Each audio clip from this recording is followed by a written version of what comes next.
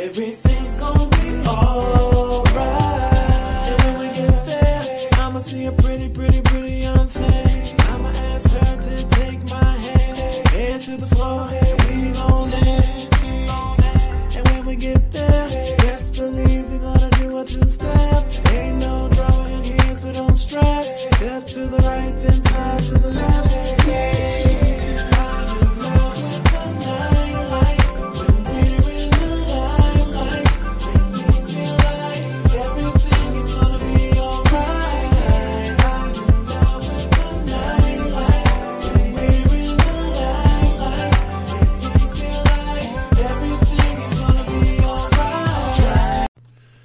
Good evening, welcome to the Steven Knight Show. Hope you're having a good Monday despite everything going on in this crazy world. Uh, tonight we welcome a guest panel of therapists and survivors of depression uh, to tackle that subject. You know, lots going on right now, and we have to, you know, keep our mental health uh, in check. And so I think it'll be a great conversation, and we start part one of it uh, tonight. Then in Hot Topics, we're talking about everything everyone's talking about, uh, the coronavirus, the latest. Also, Boosie, along with other people, are turning to only fan pages to make money. Uh, they've their the membership has gone up by seventy five percent. Uh, A lot to discuss on hot topics. Uh, I want to remind you we're all over social media: Facebook, Twitter, Google Plus, Instagram, of course our official website, is thestevenknightshow.com. You can also check us out on iHeartRadio, Apple Podcasts, Google Play. Just go to our website, thestevenknightshow.com. When we come back, the question of the day and hot topics. Right back after this.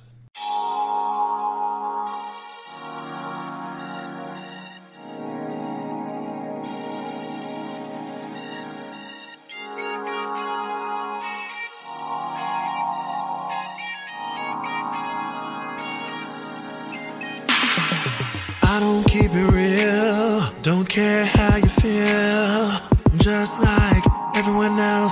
Do you know what's real? Let go your past, girl. Let it all go. Don't judge me according to what you've been through. I know it wasn't right what they did to you. You gon' have to trust me. You gon' have to trust me. I'm nothing like them other guys. Don't let a good thing slip away because.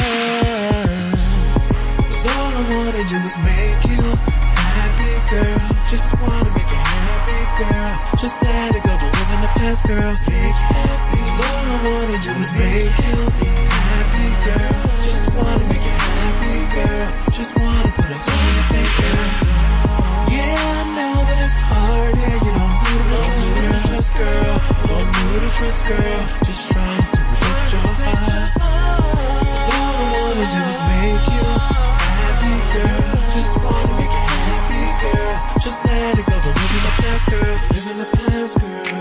Maybe you can come and take my hand. I'm not your ordinary man. Trying to do the best you can. You're trying not to give your heart to the wrong one. Wrong one. I know it wasn't right what they did to you. You gon' have to trust me. You gon' have to trust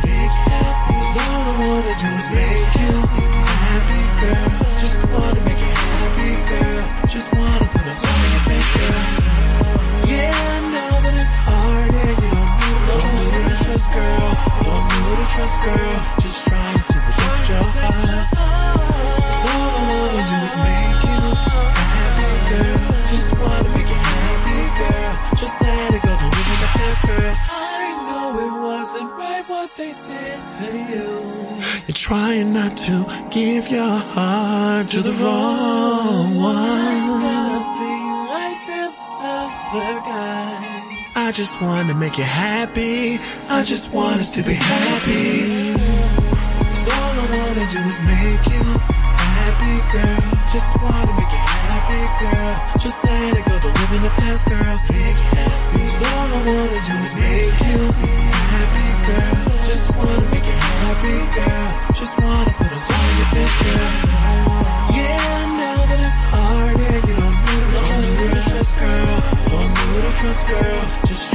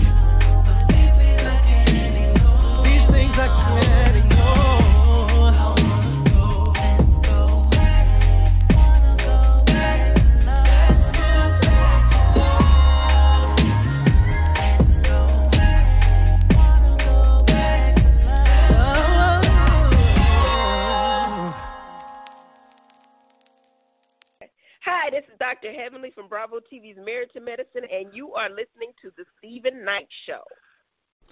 Welcome back to the Steven Knight Show. Miss Parker, how you feeling? Happy Monday. I'm good. How are you? I can't complain. Can't complain. Uh, what'd you do this weekend? That's funny. Um, I know it's. I think. I mean, we're all in quarantine, so everyone's pretty much doing the same things. But Yeah. I had a lot of Zoom and house party um, get together. Like I feel socially drained. Okay. I had I had two on two on Thursday, and one on Friday that lasted like three hour, four hours. four four hours and forty five minutes. on yes. right. Uh, And then on Saturday I had two, and then I had one yesterday. So this Oh, yeah. I'm declining. I'm declining these Zoom and house party uh, happy hours and get-togethers because I'm starting to feel like my old life again, where it's like one thing after the other and busy. Um, but it was good, and I cooked. Um, I love to cook, so I've been doing that. But we can talk about that when we talk about the the question of the day. yeah, yeah. Uh, Chike, how was your how was your weekend? Uh, my weekend was cool, but mm, you know, it's same old, same old for me. It's just the weekend. Yeah, So I, I know for a lot of people, the weekends are bleeding into the weeks because you know there's no change of difference. mm-hmm. Uh, I, I'm relishing my weekends. I've learned uh, last week that I'm probably going to have to give a few up because my schedule is going to change due to this coronavirus situation Mm-hmm. um, that we have. So yeah, yeah, yeah. I definitely understand that. What about you, Nair? How was how was the weekend? and it was uh, just pretty much what both of them said. But uh, with uh, Michelle and uh, Chike saying that uh, the weekends are kind of blending into the weekdays. I don't know what's what now. Uh, but I, I thought it was interesting when Michelle was saying that she's socially exhausted. I, I think, or socially drained.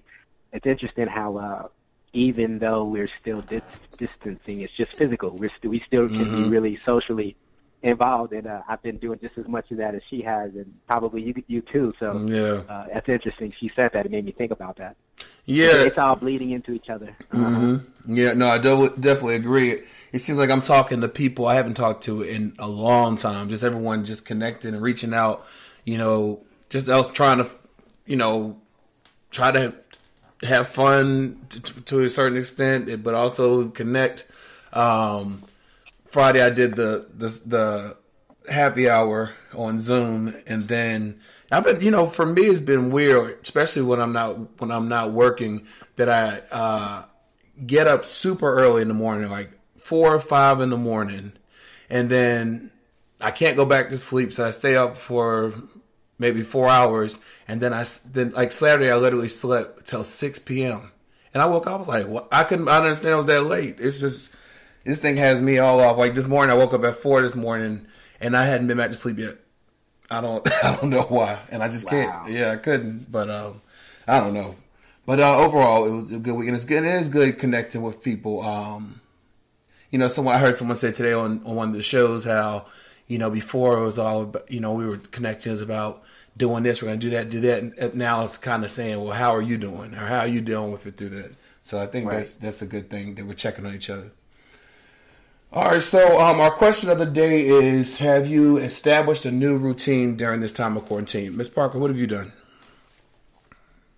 Um, I I think for the better. Yes, I have established uh, sort of a new routine. I wake up in the morning and have time to do things, which has been refreshing. So for me, this time has been really great. I, I hate to to keep saying that because I know there are people who are struggling with it, but um, I feel very fortunate and blessed to have this time, um, this slower pace to kind of like reconnect myself. So my routine now is I get up, I meditate. I've been doing a 21 day meditation with Deepak and Mhm. Oprah. Yeah. Um, so I do that. I listen to Iyama usually after that, or usually before that. Then I met do the Oprah and, and Deepak, um, and then I do yoga. So I've been doing yoga now for almost 30 days straight, and I've never had a consistent yoga practice.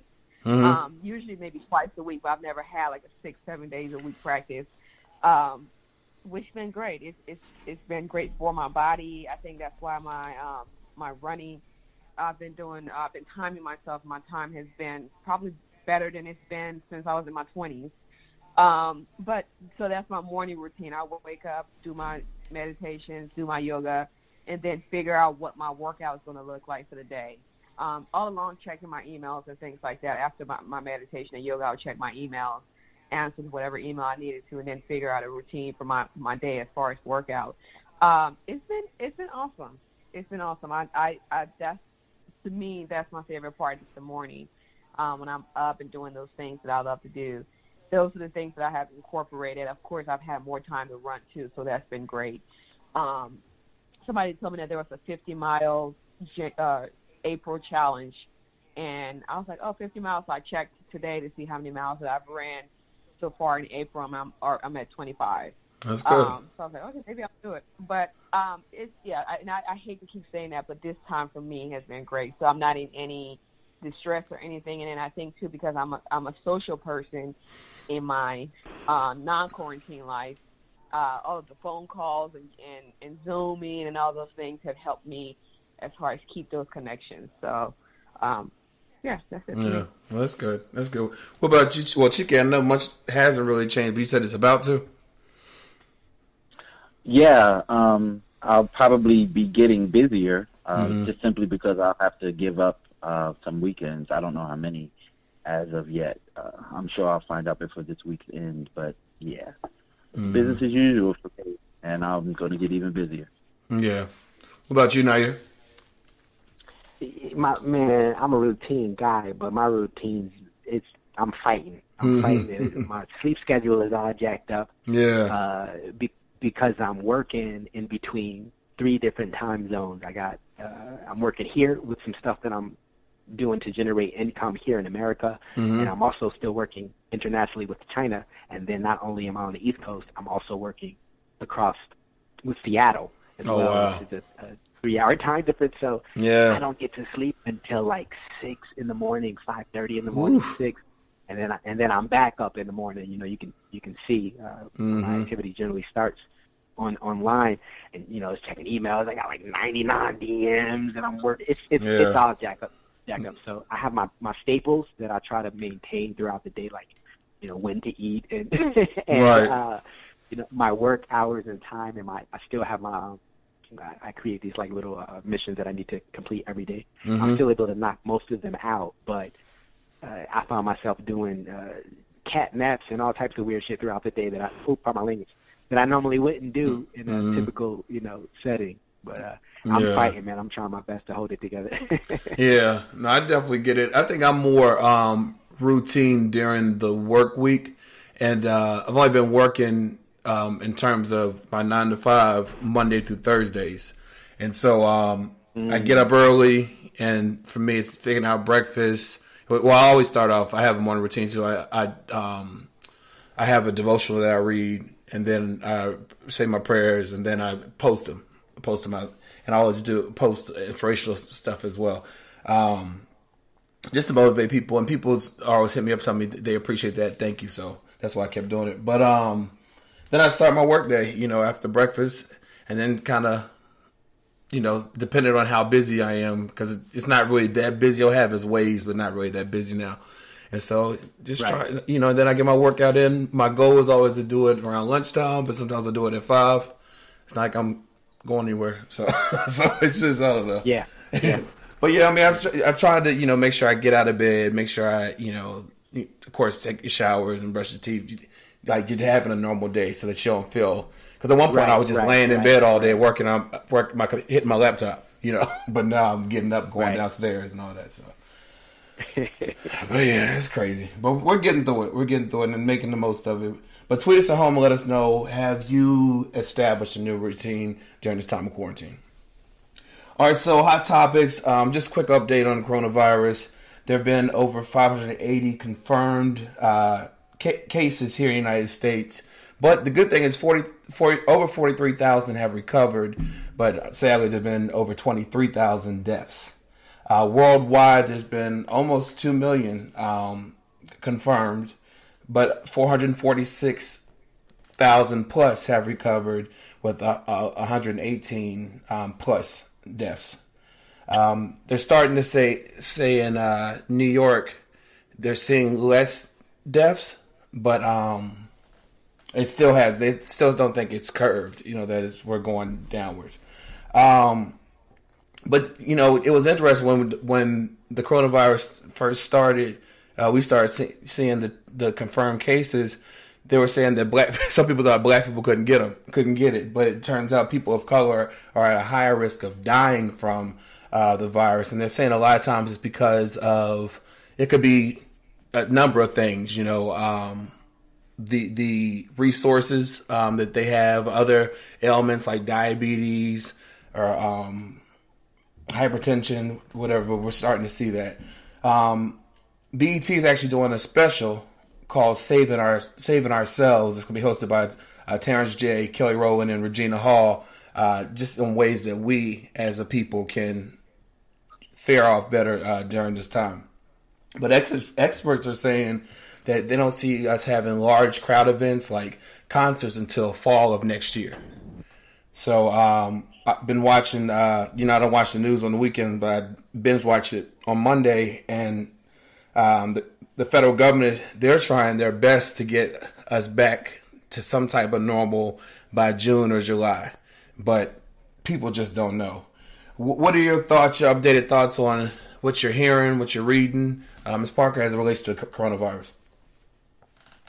Um, as far as what I've read, I, I don't, I haven't watched the news, so from what I've read, um, I think I I want, I just want to address the part of how it's affecting our community. Just because I haven't, I don't have a lot of details on what's going on with Corona, because just because I'm not um, informed as far as watching the news. Mm-hmm. But um, I am, I have seen a few uh, articles that was sent to me and that I've read um, about the highest effect in our community, and I think this is a great opportunity, as sad as it is. Uh, I think when things are happening, we can say, we can either in your life, you can either say, you know, poor me, why is this happening to me, or what is this trying to teach me? You have two options. In in, in our community, we have two options. In our individual lives, we have two options. Um, you can be the victim, or you can take the lessons from the situation and, and improve yourself. So I think as a community, this is a time for us to have those conversations about how we can individually, without without obviously, if we are waiting on the U.S. government to provide us the things that we need to be healthy, we and, and make our communities healthy. That's never going to happen.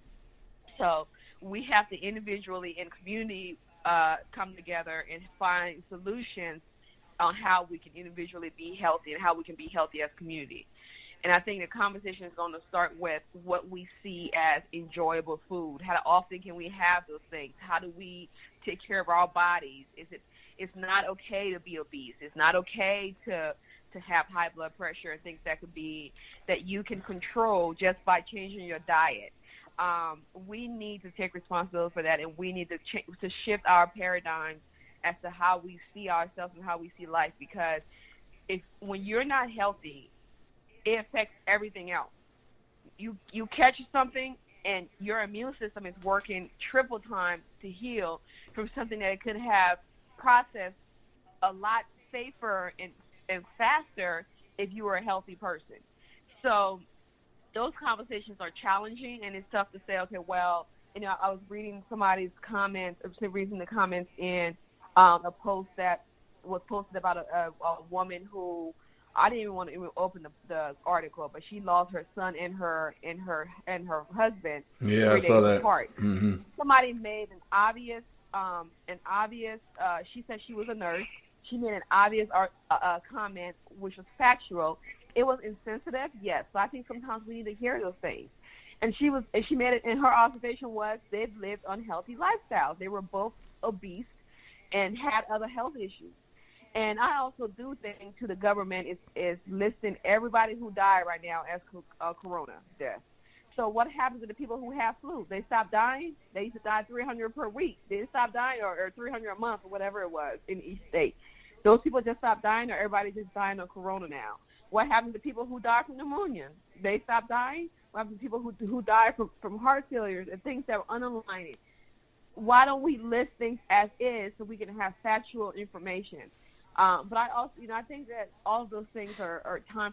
This is shining a light on things that we need to pay attention to as a community. and things that we need to pay attention to individually. Mm-hmm.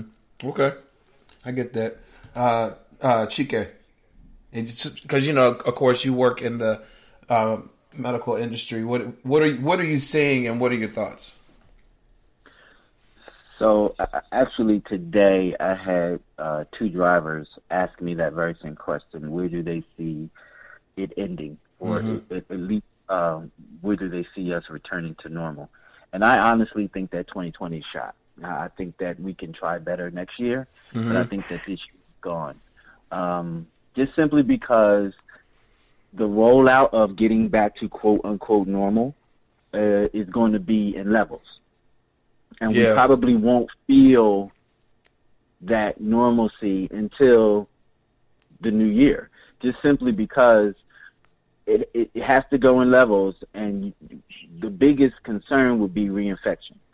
Mhm. So you, you still have these people that have been in quarantine in their homes that we're going to say the good ones that have not been out, that have not ventured right, out. exactly. They now have to come out. Some of them, believe it or not, are positive in their homes, in their quarantine. They're positive. Yeah. They're going to come out and they're going to have that connection with the masses now. So now everything started back up. You're going to start the economy back up. People are going to get back to work, and then there's going to re- re- be a resurgence of the disease. And so now you're going to have people getting sick again. So it has to be a slow rollout. It can't just be overnight. We're back to normal, Mhm. and we're going to probably play ping pong with this back and forth for a few months before we actually get it together. And Yeah. then we're not going to be anywhere back to normalcy until there is a vaccine Mhm. and then there if when if and when there's more testing that's the real key Yeah, the testing. That's true. That's true. Uh, Ch- uh, Nair, I'm sorry. yeah, I, it's hard for me too. Uh, I, you don't know how these things will play out. You know, you just have an idea of how it could play out, as, as far as I, I know.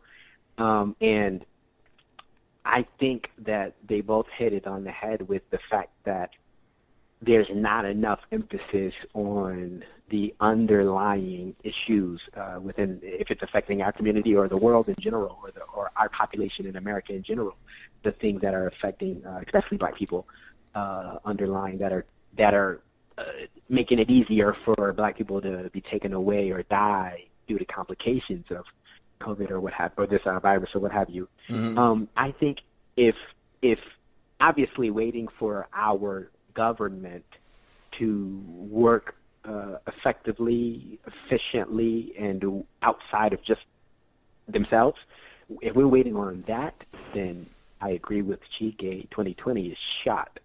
Um, but if the people, if there are enough people who can rally up and wake enough people up, and it takes it takes celebrities too. It takes celebrities that look like us to be able to be a part of this waking people up. Mhm. If they're still putting it, but if they're putting emphasis on get on live and let's dance our problems away, or get on live and let's listen to ten hours of a DJ, you know, to soothe, then this is not going to help. It's going to help cope, but it's not going to help get us back functioning the way we need to function uh, moving forward in general, not just moving forward with the economy, moving forward in health, moving health and forward in prosperity, and so on. It could happen if the people were affected properly uh, before 2021 was here, but without the right people waking, without waking up, 2020 is shot. We're rolling into 2021, possibly still facing this this chaotic scene. You know, what I yeah, mean? yeah, absolutely.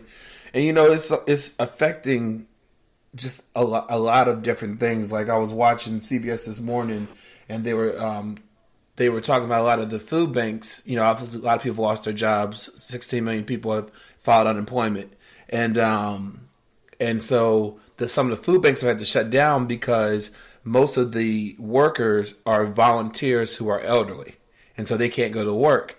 And so some of the food banks are so far, people can't drive out to it. So I saw this couple; they were elderly themselves, and they to to save the food they have, they pick days that she'll eat this day, he'll eat tomorrow, and that day. That should not Oh be happening. God. That should not be happening in the United States. of No. And so, and you know one of the biggest things Steven for why this virus affects uh, people of color so deeply and so vastly is because of economics. Yeah. Poverty. Yeah. Exactly. Exactly. Absolutely. Yeah. And it's where it's easier to, uh, you know, for, we all know eating eating healthier in many cases is more expensive, and in some of the areas where you know poverty stricken, they don't have a Whole Foods or have uh, you know places that have healthy options. It's easy to Or go. even a supermarket. Oh, yeah, yeah. You have to even travel to the next access to town. store. yeah, Yeah. yeah, Right. Very Right. true. Yeah, yeah, yeah. I, I But was what I'm saying something is, too. the government Uh-huh. obviously they're not going to put a store there. I know for for a fact Oh, that hell no. Mm-hmm. in New York is that people can't get to the stores. Yeah. You know, my girlfriend moved from Vegas to New York, and she told me she has to. You know, she's she's my age, 34, 35, and she's like Michelle. The fact that for me is it's such a hassle to go to the store. I have to actually plan it out because most of everyone who live in New York, especially in the cities, they use public transportation. So you have to Yeah. plan out your food runs and plan out how you can get it back home from the grocery store. Yep. Yeah. So Yep. if you have too many Yep, bags, absolutely. you need to get in a cab. If you can afford a cab, you dragging six, seven, eight bags on the train. Yeah. Um, Yep. and she was I- I- I know quite a few New Yorkers. theories. I, I know quite a few New Yorkers, and, and they and they actually shop at the bodegas on the corner. They, that's Yeah. where they do their shopping. Exactly. Yeah, and Yes. they, and, the, and the bodegas don't have veggies. You know, they have Exactly. Essential um, canned stuff and quick things you can pick up, and those things are ninety percent of the time not healthy. But she was Yeah. And- and not only- not- wintertime, Yeah, and not only not healthy at the bodega, it's gonna be triple the price. twice as much. Yeah. If, yeah, yeah, if they if they have it there, it's gonna be triple the price for the stuff that's healthy, Yeah. not for the junk. yeah, Yeah. yeah. Very true. Very So, true. Yeah. Uh, okay. Well, we'll take a quick break. Come back with a few more hot topics after this.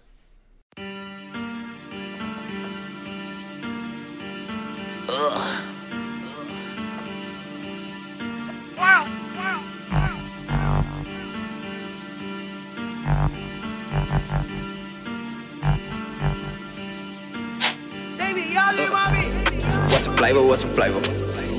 What's the flavor? What's the flavor? Cup watching you a peeping time. Nosy neighbor, nosy neighbor. What's the flavor? What's the flavor? What's the flavor? What's the flavor? Cup watching you a peeping time. Nosy neighbor, nosy neighbor. Woo. They be y'all in my Kool-Aid, in my Kool-Aid, and then help me stir it. They be y'all in my Kool-Aid, in my Kool-Aid, and then help me stir. They be all in my Kool-Aid, in my Kool-Aid, and then help me stir. They be all in my Kool-Aid, in my Kool-Aid, yeah they be all in my syrup. Why you always in the mix with it? And you ain't help me mix, did you?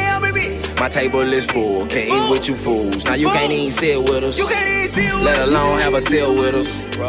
Now you can't even hit this one. Simple and plain, can tell by your frame that you don't get the big picture. That boy that he a soft drink. That mean they got some with him. Listen, this a A and B conversation. See they all on my D in my conversation. Pockets on E, F that. Me against you, that's a mismatch.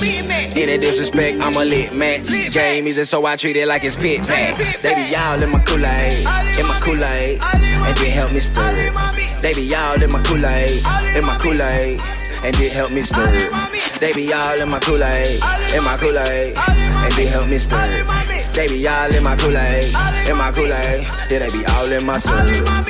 You must got me mixed up. You must got me mixed. Wait, it must be a mix up. It must be a mix up. She said I'm a stiff drink. She said I'm stiff. And well, you you a mix one. Boy, you. I'm the type to miss business with pleasure. I love getting money. We just go together. My homeboy, he got a dope wrist. Your girlfriend, we call her blowfish. Since you all in my fridge, I ain't lost the insurance. All at your crib and I do it again. Boy, I don't play, unless I play to win. I hit your girl once and I'm gone in the wind. You thirsty, boy, power up.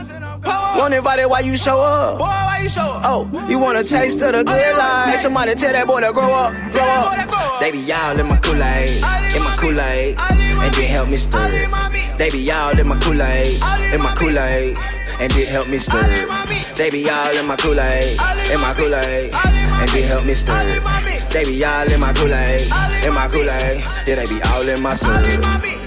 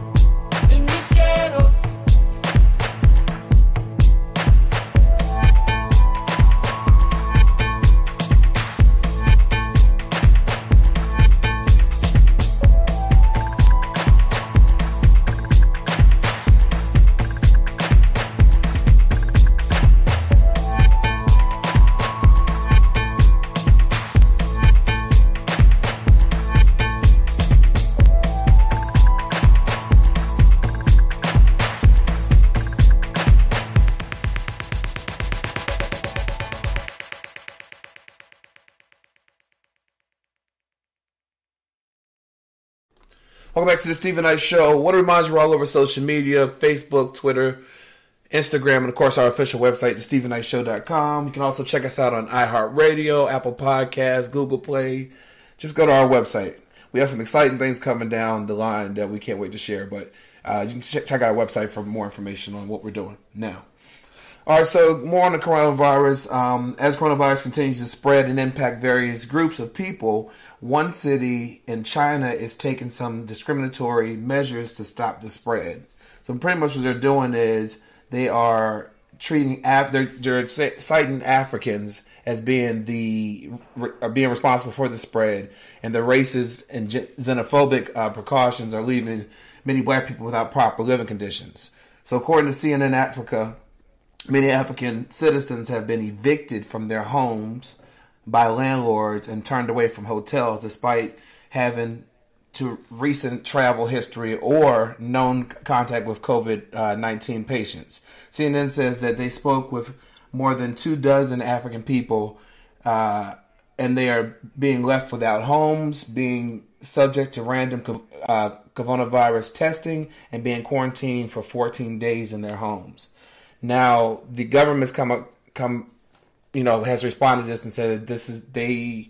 Uh, they said that we would like to emphasize that China, the Chinese government treats all of our foreigners in China equally, um, oppose any differential practices targeted at specific groups of people, and has zero tolerance for discriminatory uh, words and actions. Ms. Park, what are your thoughts? So the comment said that this is how they treat all of their foreigners. No, it's it's and it's, it's well, the government was saying they treat everyone the same, but the people, the the Africans that are living in this area, I'm trying to see if I can pronounce it right. I think it's called Guazu. Yeah, I, I know what you're talking about. Yeah, they're saying those are the Africans that are really seeing the discrimination and racist. Uh, You behavior. know, I can. Uh, I guess we can have uh, Nair, since he have experience with living there, give us a better insight. But I have no doubt from the way that Chin- Chinese people treat Black people in their own communities here. I think we have a similar plot, um, a, a similar experience with with Chinese of in the hood here, in the, with their businesses here, Mhm. as we do with Chinese, or as the Africans probably do with Chinese in China. Um, because if you remember a year ago, the big story was that Chinese owners in beauty supply stores were physically abusing black women that went into their stores, physically and verbally Mm. abusing black women that went into their stores. So they make money by putting their businesses in our community, which they contribute zero to. No type of co- contribution to like the, the kids, the, the YMCA. They make no donation. They don't do anything but take away from our community. But they mistreat us when we go in there, and that's that is that is a known fact. Um, I have no doubt that it's the same thing there. Can you imagine? But I Mhm. also think this is a bigger issue. I think for I posted something on Facebook and we and, and had a pretty insightful conversation.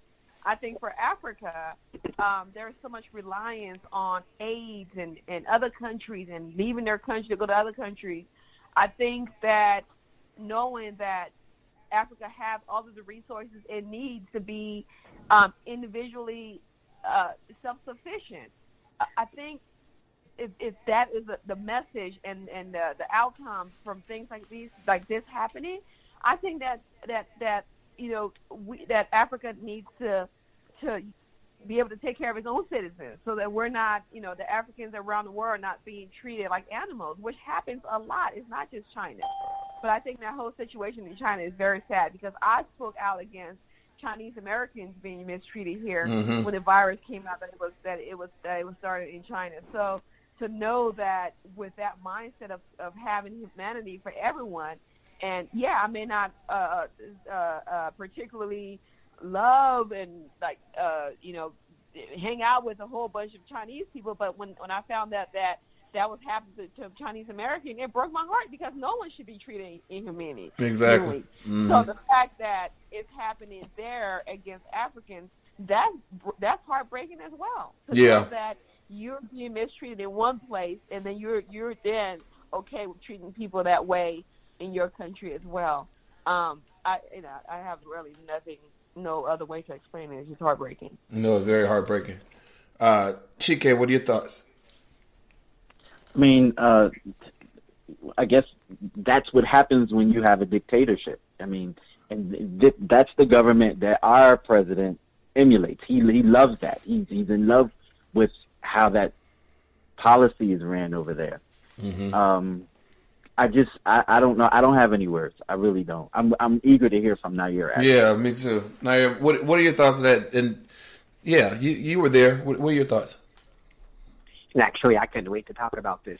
And I'm going to keep it brief, but but I couldn't wait to talk about this. Um, first and foremost, yes, I do. I have been there. I've been living there, off and on since 2016. My stuff is still there. It's not like I'm even. I'm only here because of this, you know, situation. But I actually I've seen all these reports. People sending me things. Of course, they're asking me. So, what is your take on this? And so I messaged back to my people who are still there on the ground, my uh, my black people, black friends, uh, black Americans, and I have seven uh, uh, recorded messages that I'm actually going to share on Instagram. I asked him if I could share it. My uh, uh, I won't say his name, but one of my friends there was explaining this climate as well. He, Mhm. uh, I know people in Guangzhou, Shenzhen, everywhere.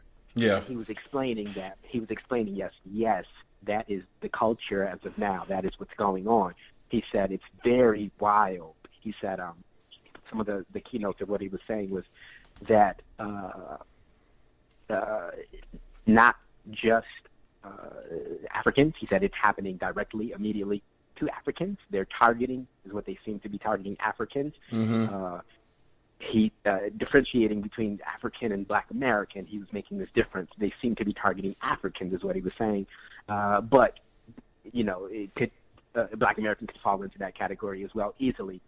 He was also saying that uh, he, personally experienced a situation going up the street. He's in Shenzhen, not even in Guangzhou. He's in Okay. Shenzhen, which is a 30, 30 minute ride, you know. But he Mhm. was saying uh, how he went to get a beer from his local store that he always goes to, and uh, one of the uh, store managers or owners or clerks came up to him and said, "What are you doing here?" He was saying in Chinese, "Well, you know, what are you basically? What do you want?"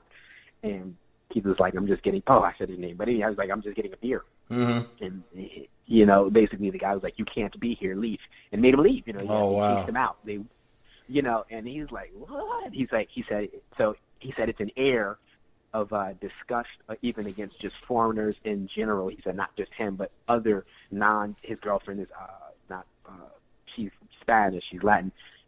Her and other people that they're talking to are noticing this difference in the treatment of foreigners right now during this time, as if the narrative is being reversed or changed to fit better for China uh, globally. Um, but this exists. I have experienced this on a number of occasions in China. Not just me, plenty of people that I know. This is something that I, I, I don't understand why the world hasn't taken wind of. I, I, and the, and I know so many Africans in China that I'm going to try to cut this off after this statement, but I know so many Africans in China that just are so they are in love with China and their connection is a very unique connection, China and Africa, for different reasons. You'd have to ask each different African that's representative of a different country, but Right. I know it's a unique it's a unique connection. And they praise China so much as if China is this like savior for Africa, Mm. which just it's it's mind boggling to me. And it's even more mind boggling to see how China is turning the tables on many of these Africans who you have seen post videos online saying, you know, Wojiao, we're gonna we're gonna fight with China. We're with China. We're part of the builders of China. Yada A yada yada. shame. A shame. Yeah. Yeah, and it's and it tur- so it's it is. I have so much to say. We'll have to get on this on another day, but it's happening. It definitely is happening. I've experienced it Mhm. as a Black American in Beijing, uh, and I I have many accounts from different people who could also back this. They are. It is a very. It can be a very vicious culture at times. That's crazy. Um, but I'm just I'm just as appalled as Michelle is. I don't think people should be treating people like this in general, but that experience is real and valid, especially in China where the doors are closed, where people can't see. yeah. Especially. Yep. Wow. Wow. Well, on a lighter note, as many businesses are still closed, people are finding new ways to get bills paid during the pandemic. And while some people are getting crafty and creating face masks, it looks like others are turning to selling whatever they can on OnlyFans. Now, according to Huffington Post, OnlyFans has reported 75% increase in new accounts since the social distance rules went into effect. And most people, although most people get on there, get naked, and make money, not all users are doing that. Um, but the company says that some people are using the platform to sell everything from artwork to routine, uh, workout routines, and even cooking tutorials. Now, the post caught up with Ray, who is a mother who lives in South, a new mother that lives in South Carolina, uh, Southern California, excuse me, and she um, says in just a week she's made about a thousand dollars through her subscription and tips, and she's been selling topless photos of herself on OnlyFans. She was furloughed um, from the gym that she managed. Um, shut down. Initially, they said they would keep paying them, but that didn't last long. And she said pretty much that she had a little son and it was getting stressful, and she needed to make sure he was taken care of. Um, and she said, plus it's crazy with them being stuck at home together, so she's been networking and promoting her page. Uh, I thought OnlyFans was just for you know recording porn or or uh, selling nude pictures, but apparently people are using for just talking to people and things like that. Um, Boosie said that he was going to start one because um, he said he's not he's not losing his money during this pandemic. Uh, what do you what are your uh, thoughts, Ms. Parker? Push came to shove. Would you get on OnlyFans?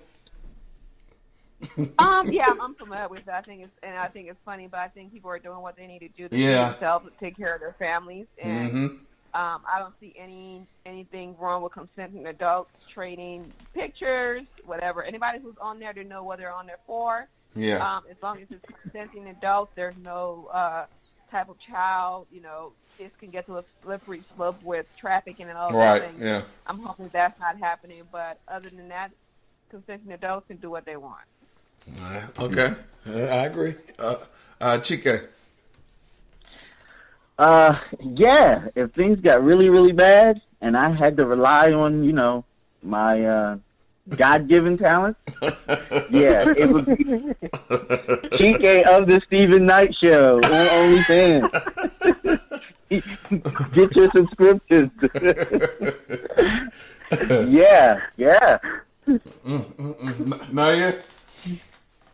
yeah, you know, I, I, I'm all about that entrepreneur culture. So the entrepreneur, if you can get on there and make some money, but the thing is, you got to be careful because things are going to get going again, and some people are going to have topless photos sold online Yeah. and might not be able to go back to their old jobs, which may not be a problem for them, but. Uh, you know, I think people should just figure out what may work for them and their integrity and their legacy over time instead of just I need money now. That's usually what gets people into trouble. Yeah, yeah. Uh, So wait, hold on, Steven. So what Nair is saying, if you're a professor and you work for, you know, a university, Right. and it would be, you know, taboo for you to go on OnlyFans, you might want to think about when you do start your OnlyFans page to give some kind of lesson while you are twerking Right. in your nudity. That's all. well, it's crazy.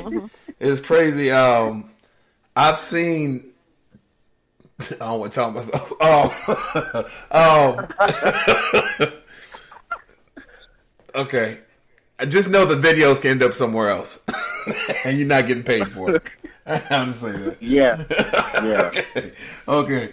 Um, so last week, um, if you're on Twitter, you likely saw that uh, California Senator Kamala Harris had been trending, and they think the reason is because um, Joe Biden, who's like he's going to be um, the Democrat Democratic nominee, he has to pick a running mate uh, for for this year's election, and a lot of people think that Kamala would be a great pick.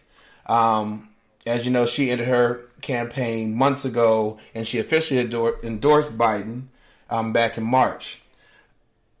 Um, they think that she is in the running because she's been doing a lot of fundraising for him uh, with the DNC.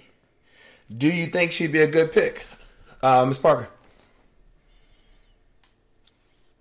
Um, I you know I don't I don't know I don't know enough about um, her platform to know how it matches with Joe Biden, but I know what's going to happen is if he picks her, they're going to tear their team apart because of.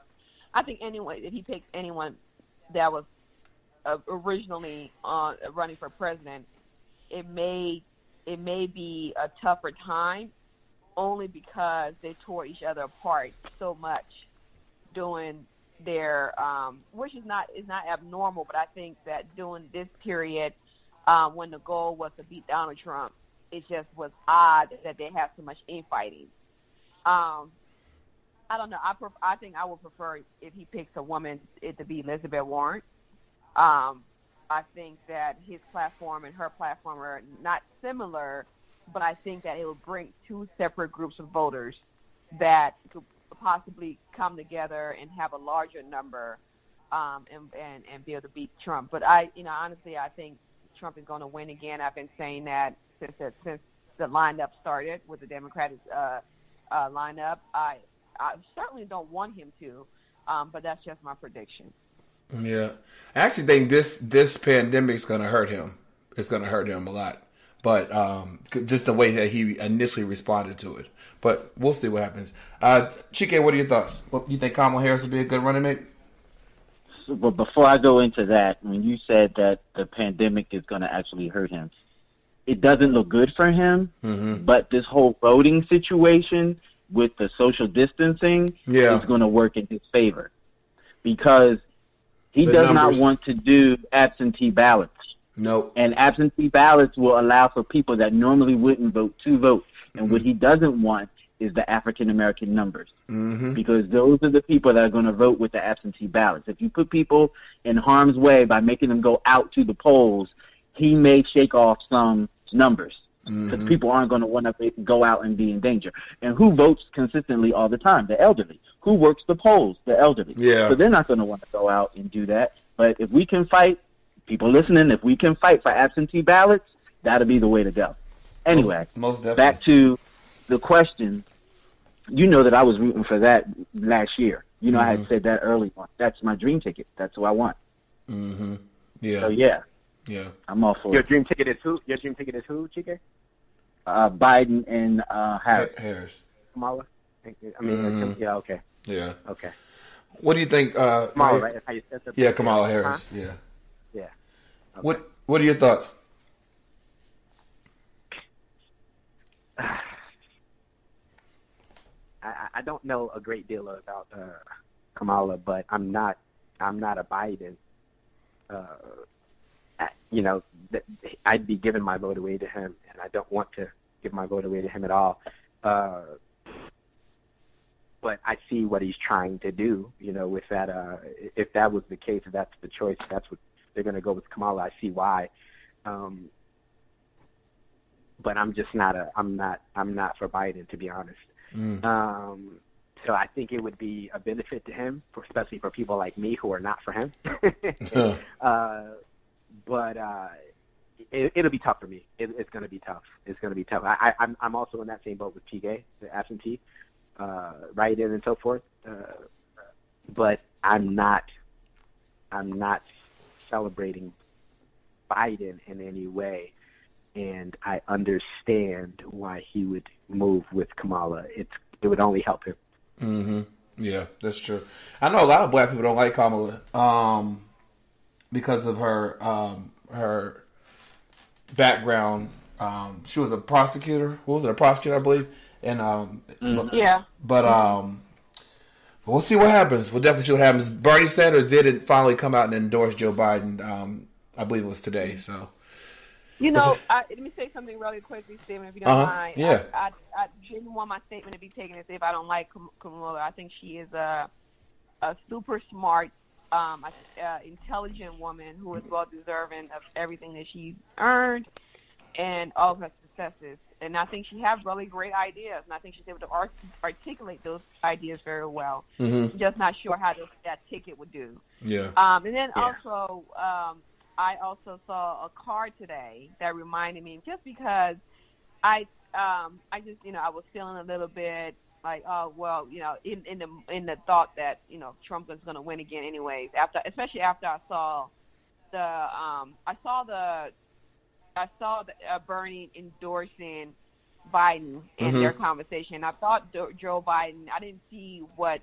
um what uh Bernie said, but he looked like he was over it and he was done with that conversation. He Yeah. to say. Uh-huh. But Joe Biden, Joe Biden was very respectful and I think thoughtful and I think probably the most well articulated I've seen him in a long time. He had his thoughts together and he did really well. But anyways, long story short, I had just seen that I was uh, on my way to the to the uh, park and I saw uh, a sticker on somebody's car that said literally anybody 2020 and then it, it just brought me back to the, to the present thought of I don't care who's running as long as we beat Trump. Right, right, yeah, I think exactly. we have to be- right. I think we Yeah. have to go back to that mindset Mhm. of listen, none of this matters. We just need that fool out of the office. We can Yeah. figure out everybody else once they get in there, but we just need him out of the office. And I think for me, that was more of a comeback to you know, come back to the the the, the goal. You know, Right. I needed that. And I think I think maybe we all need to be reminded of that a little bit more.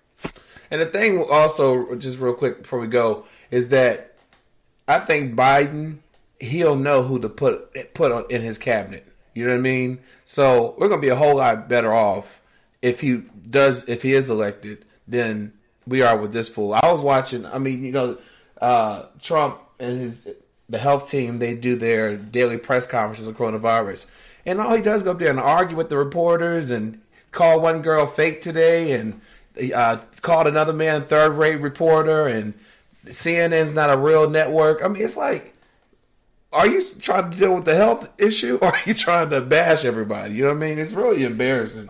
It- yeah. And isn't it a damn shame that they have a you have a governor or several governors that are outshining Yeah. you as stepping up Yeah. as leader for the country? Absolutely, absolutely, absolutely. And he doesn't even know the law. Like he was saying that because it's really up to the governors um, to decide when their states go back to normal, unless uh, Trump can go to the, the courts and get you know whatever special privilege. But he said it, because he's the president, he has a lot of power. He can do what he wants. And one reporter asked him, "Well, who told you that?"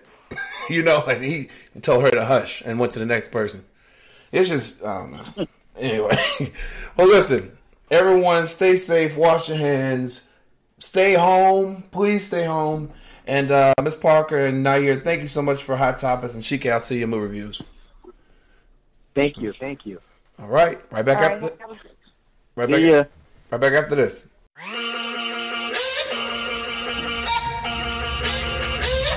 I really want love, I want it right now. Your heart is a drug, I don't wanna come down. If I look through your imperfections, would you do the same for me? Yeah. She just wants a man that makes her dreams come true.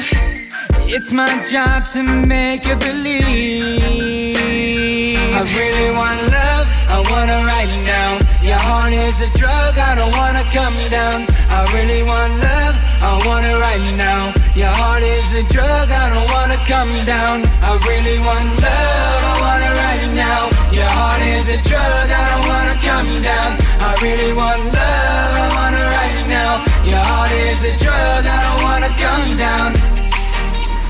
Girl, are you mine? At any time, you're on my mind. You're about to shine. They can't take that shine away. Nah, nah, nah, nah, nah. We can go anywhere, but would that mean you're truly here? Or is it just time I find my way? I really want love, I want it right now. Your heart is a drug, I don't wanna come down. Want love, I want it right now. Your heart is a drug, I don't wanna come down. I really want love, I want it right now. Your heart is a drug, I don't wanna come down. I really want love, I want it right now. Your heart is a drug, I don't wanna come down. Yeah, all night laying up in the bed, we waking up on the counter, kicking up. Check the feet, we catered up. I really want love, baby. L'Oreal can't make this up. So every time we hug, it takes a miracle to break us up. I really want love, and I want it all from you. Even when we're freaking, girl, every second's true. When I see your face, I can't let things be. Because you are the one that come and set me free. I really want love, I want it right now. Your heart is a drug, I don't wanna come down. I really want love, I want it right now. Your heart is a drug, I don't wanna come down. I really want love, I want it right now. Your heart is a drug, I don't wanna come down. I really want love, Is a drug, I don't wanna come down.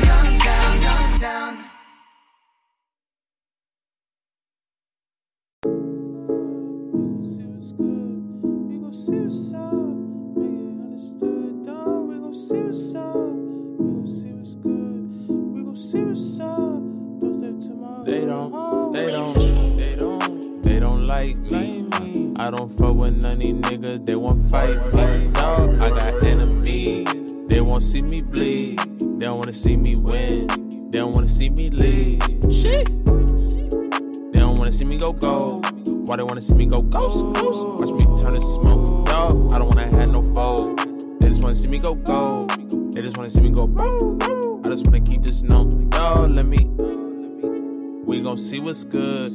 I got homies in the town, so it's understood. Understood. You won't like this. I might share my location on nice shit. Nice shit. You don't wanna see me go roll.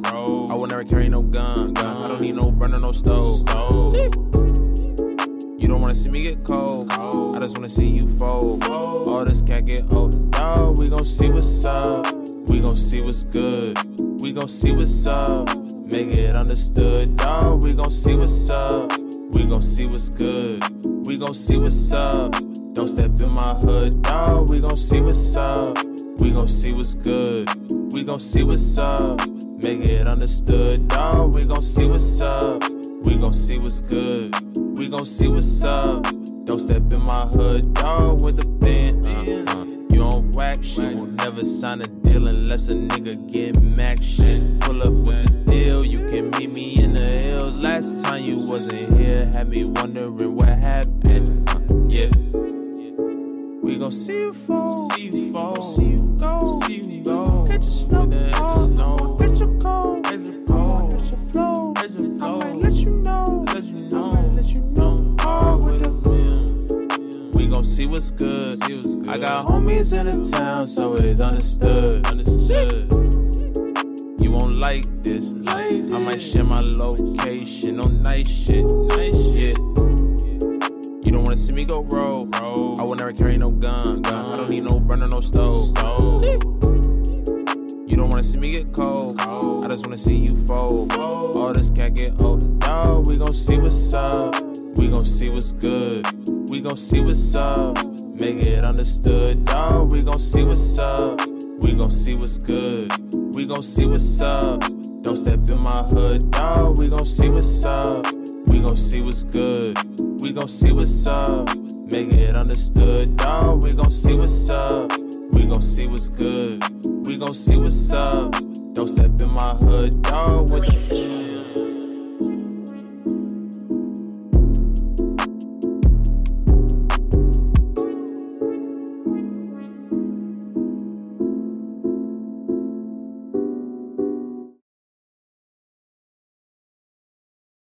What's up, y'all? We are June's Diary, and you're listening to The Steven Knight Show. Welcome back to the Steven Knight Show. Now, millions of people suffer from depression, and with the current COVID 19 global pandemic, many people are falling deeper into their mental illness.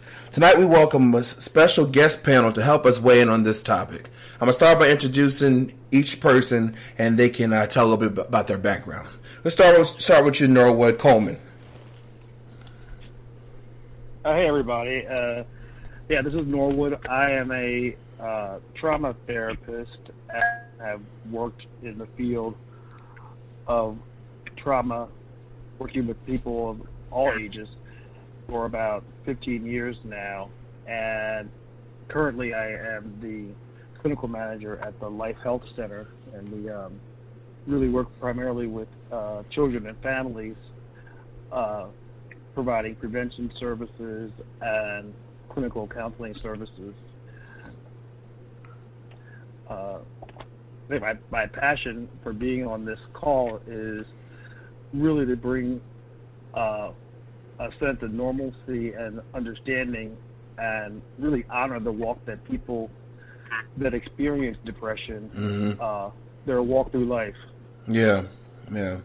Well, thank you for joining us. Thank you for joining us. Okay, uh, Maja, is it Acharya? Yes, you got it. Oh, perfect. Okay, I, I practice. Welcome to the show. Tell us about your uh, background. Thank you so much. My name is Padmaja Acharya, or Maja, and I am a licensed therapist. Um, I'm a mental health clinician, and I currently work for the outpatient department in Jewish Family Services, and that's an agency that provides therapy for all ages, all different backgrounds. So we treat a broad range um, of needs, mental health needs, um, as well as people. Um, I have quite a bit of experience providing trauma therapy, um, and I also have some extensive experience treating those who are experiencing depression uh, as well as other mood disorders. Um, I work closely with children and families also, and um, provide family therapy, individual therapy, as well as couples therapy. Nice, nice. Welcome to the show. All right, uh, Sherelle Hogans. Hey, thanks so much for having me. It's Thank so you. to be part of this amazing panel of all Yes. these amazing people. I know, right? um, so I'm Sherelle Hogans. Everyone calls me Diamond. Professionally, I am a nurse um, of 20 years. Um, I work in the field with people with um, not only direct care as the traditional nursing, but I am also a public health nurse working specifically with trauma um, of domestic violence, sexual assault, um, depression, and suicide.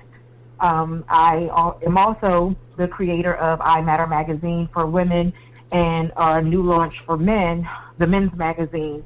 And we talk about real life issues and um, that affect people on a daily basis and provide resources, education to help them empower themselves from the inside out so that they can thrive in life. Awesome, awesome. Thank you. Welcome to the show. Now, those are our experts. Now, we have uh, Lachelle Jackson and Chike, our very own Chike Evans. Uh, Lachelle, tell us a little bit about yourself. Hi, Steven. How you doing? Again, my name is Lash- good. Again, my name is Lachelle Jackson. I'm from Richmond, Virginia. I am. Ooh. I have suffered or battled with depression myself. Yeah, I yeah. have had family members who have battled with depression. Mm. Even have had one family member who committed suicide. Oh, I'm so sorry. So this is this really hits home for me. Yeah. So whenever I get the opportunity to speak out, I will. Mm. And I just want everybody to be healed to let them know that you are not alone. We are in this together. Absolutely. I think everybody suffers from some form of depression, whether they know it or not. So just to, you know, help recognize the signs before they even happen.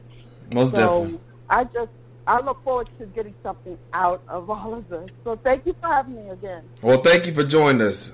Thank you for joining us. And Chike will put all this together. Chike, tell us why you want to be part of the panel.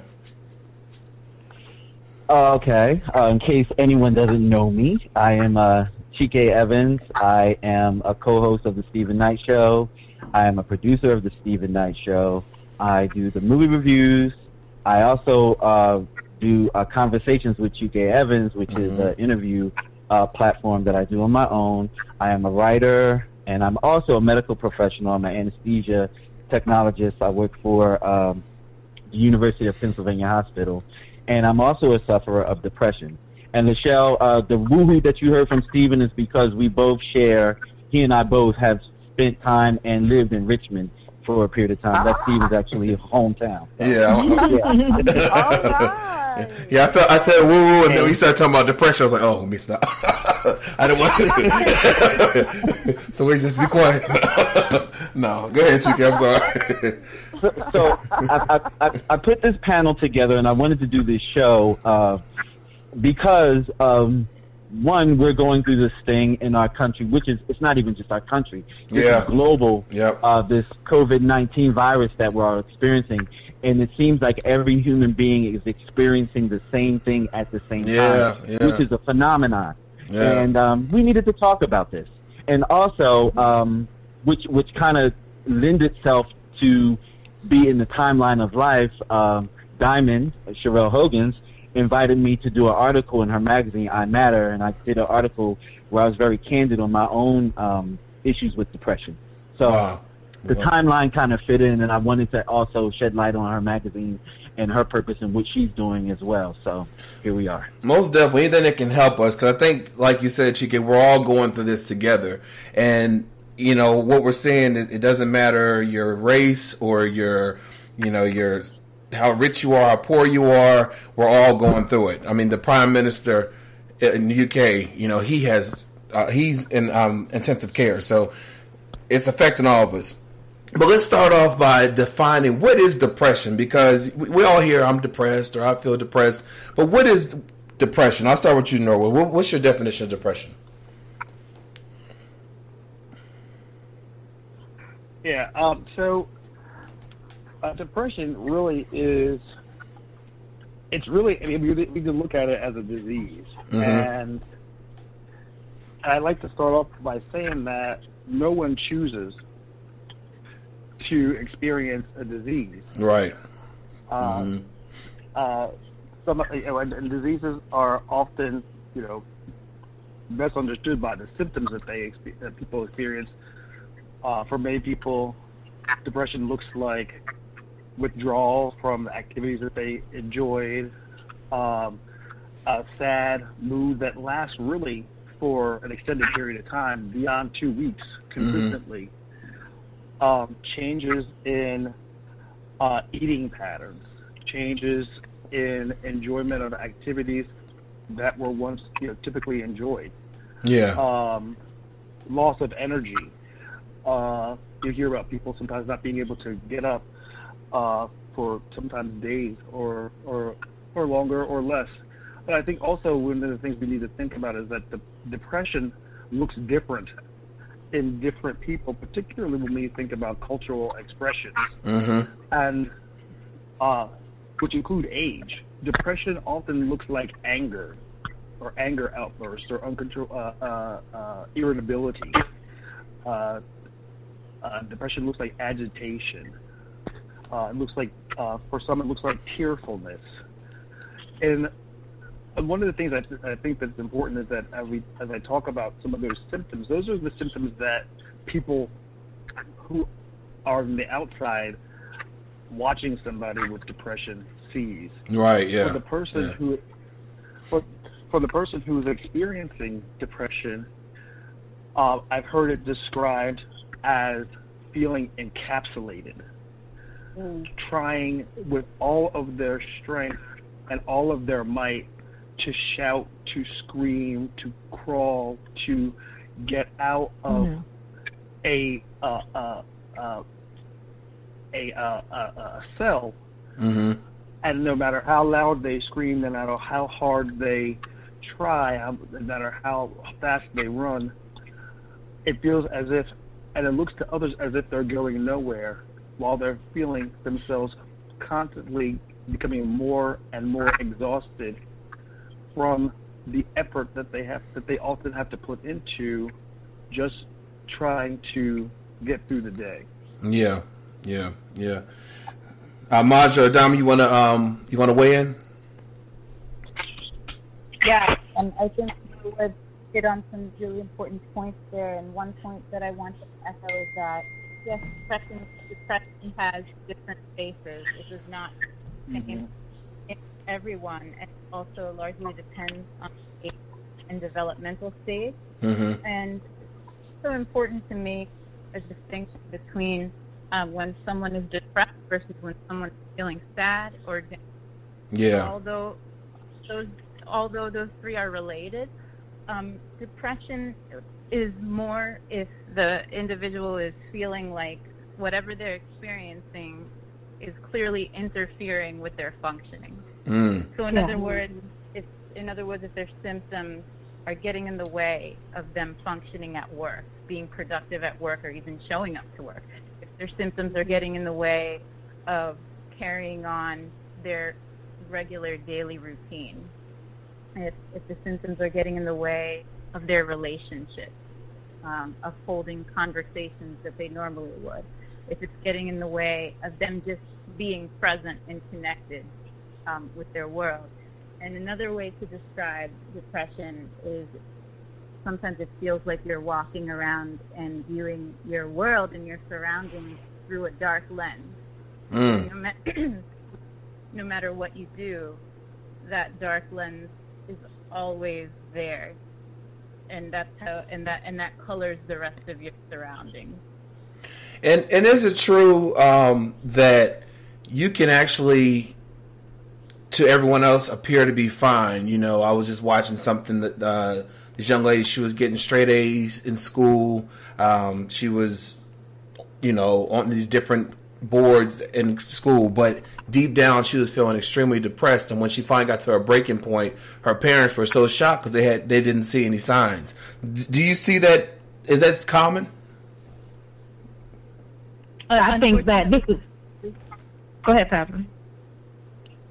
yes, unfortunately, I do see that um, quite a bit, and I think sometimes it comes from feeling ashamed um, Yeah. that you are, are experiencing these symptoms, and also it comes from the fear that you're going to be a burden if you talk honestly and openly Mhm. about how, how you're feeling and what you're going through.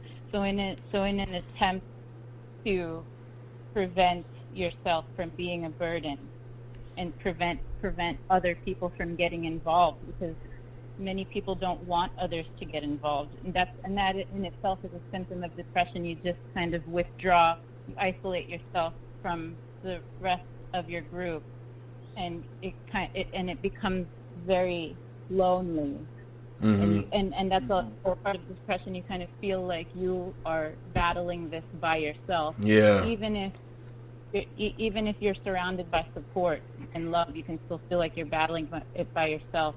But yes, those are a couple of reasons why one would not want to be direct and, and open about the depression that they're feeling and experiencing. Most definitely. Dom, you were gonna weigh in? Yeah, one of the things I wanted to say was that it is very um, non-prejudicial. It's not, it's not prejudice. It doesn't matter what um, age bracket you are, what financial bracket you are, what culture you are.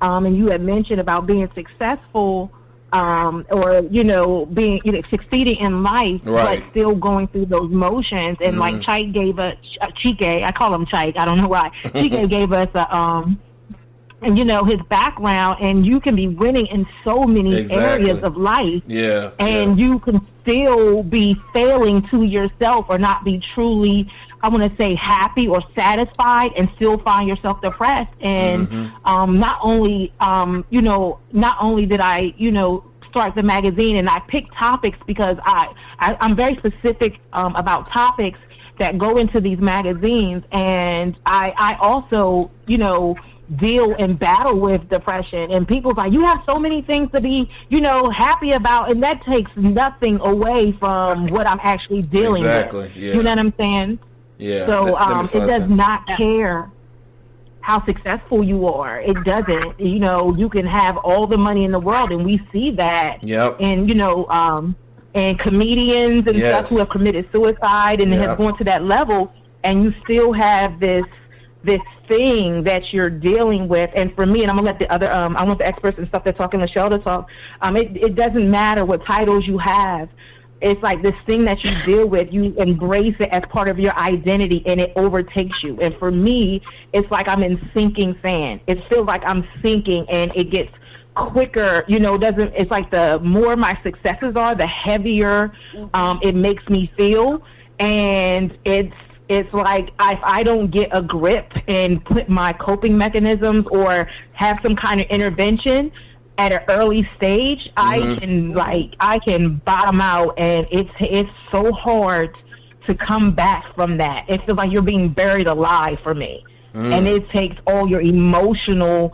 It, it, you're drained physically, mentally, emotionally, and it could be it's different for everybody. Right, but that's right. my that's that's my experience. It takes everything in me to fight Mm. and um come back from that. So I try to see the signs ahead of time, and I'm open now to, have a system to tell people, "Hey, I need to talk. I need a hug. Yeah. I need, no, I need you to call me." Yeah. Versus just trying to stay with it myself, because again, it's like being buried alive, and all your successes mean nothing. There are weights around your neck and your feet that bring you down even deeper. For me. Most definitely. That's so true. Most This is Chike. Can I add upon what what uh, Diamond said? Please do. So I, I think I, I spoke about this in the article, and there was a point in time in my life where I lost two years, um, just functioning, and the two years went by, but I didn't realize until one day I looked in the mirror and I've, I've aged, and I didn't even notice.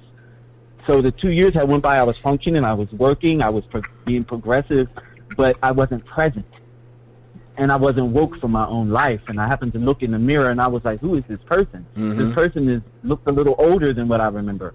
Um, and then I realized it all clicked and it came together. Like two years has passed, Yeah. and I was just functioning. I was Yeah. just going through the motion.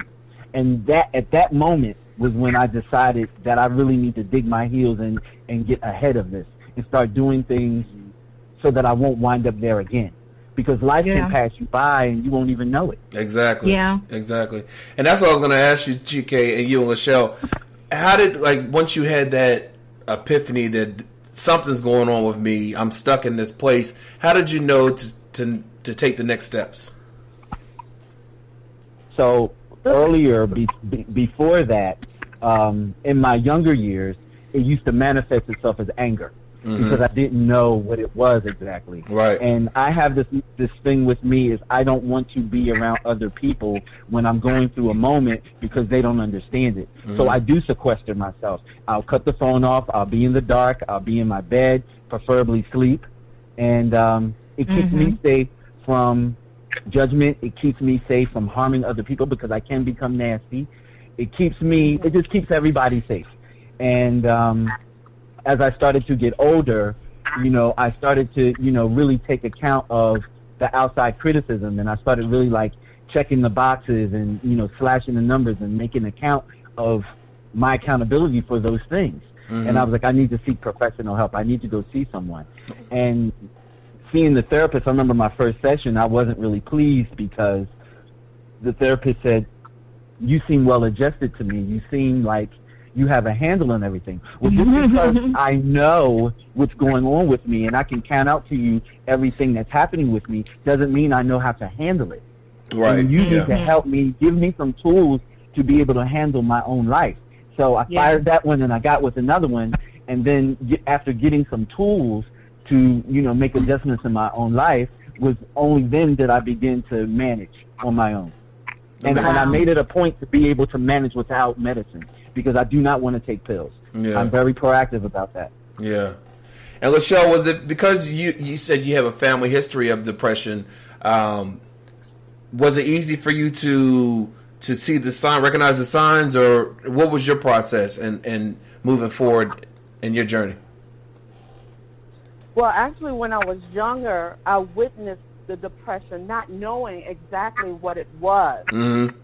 Until I got older and more people start speaking on it and talking about depression because as African Americans, we put stuff like that under Exactly. the rug and Yep. just said, you know, you know, leave them to themselves, let them be or whatever instead of, you know, seeking the help. So I had a grandparent who you know who just wasted her life away in the bed.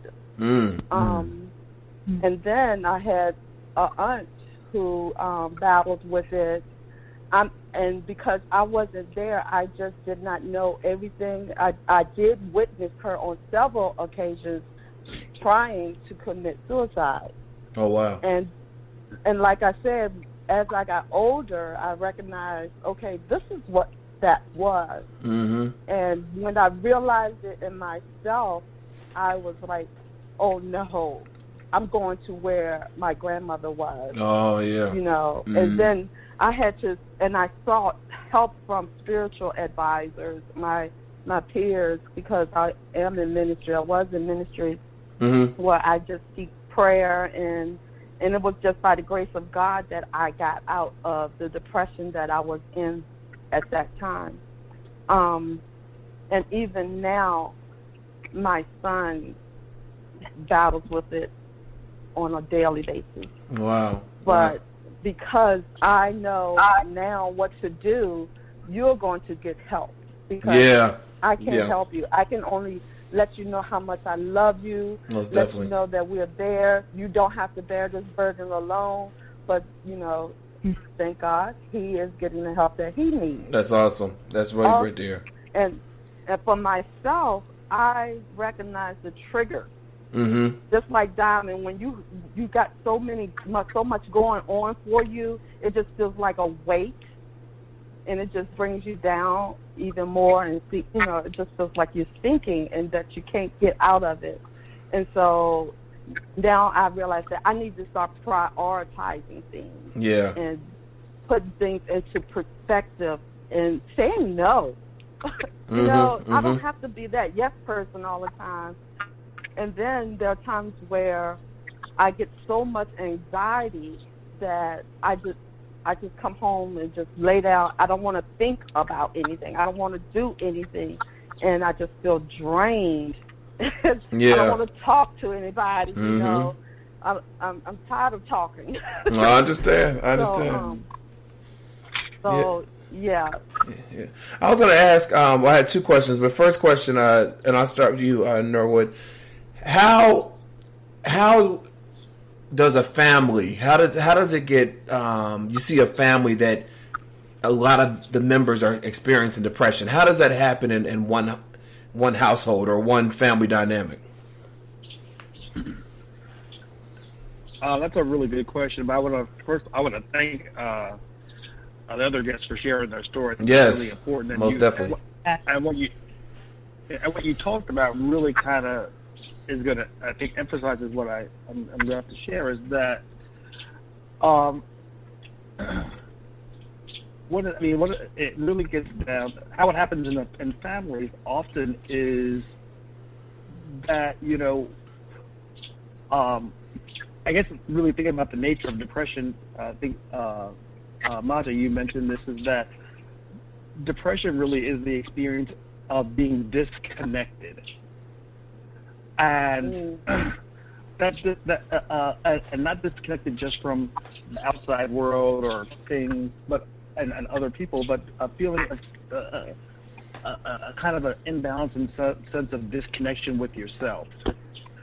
And one of the ways that we, we, we do know when we think about how you know children are reared, how families interact, is that connection is, is a basic human experience. It's one of the reasons why what this you know uh, uh, I don't like to call it social distancing because I think that's the worst term you could use. I like to call it physical distancing or connecting beyond physical distancing, but distancing ourselves on purpose or even by mistake is very painful for a human for a human being and often in families where there is unintentional distancing uh, through depression children and other family members lose that experience of connection that's one uh, way that that happens also we do know that um, biologically, people uh, uh, some people are more uh, prone uh, to uh, experience depression than others. Um, I think that that's something I, I, I I've heard families say, "Oh, well, my uh, uh, family member is depressed, and so therefore I'm probably going to catch it." And I Mhm. don't, and I and I'm mind, and I'm mindful to let folks remember that it's not something that you catch. It's not uh, uh, a virus or a It's not contagious. uh, uh, air, uh, airborne disease. Yeah. Mm, yeah. But um, and I but I do but I do but in many and many for many people, being with depressed people cuts off human connection.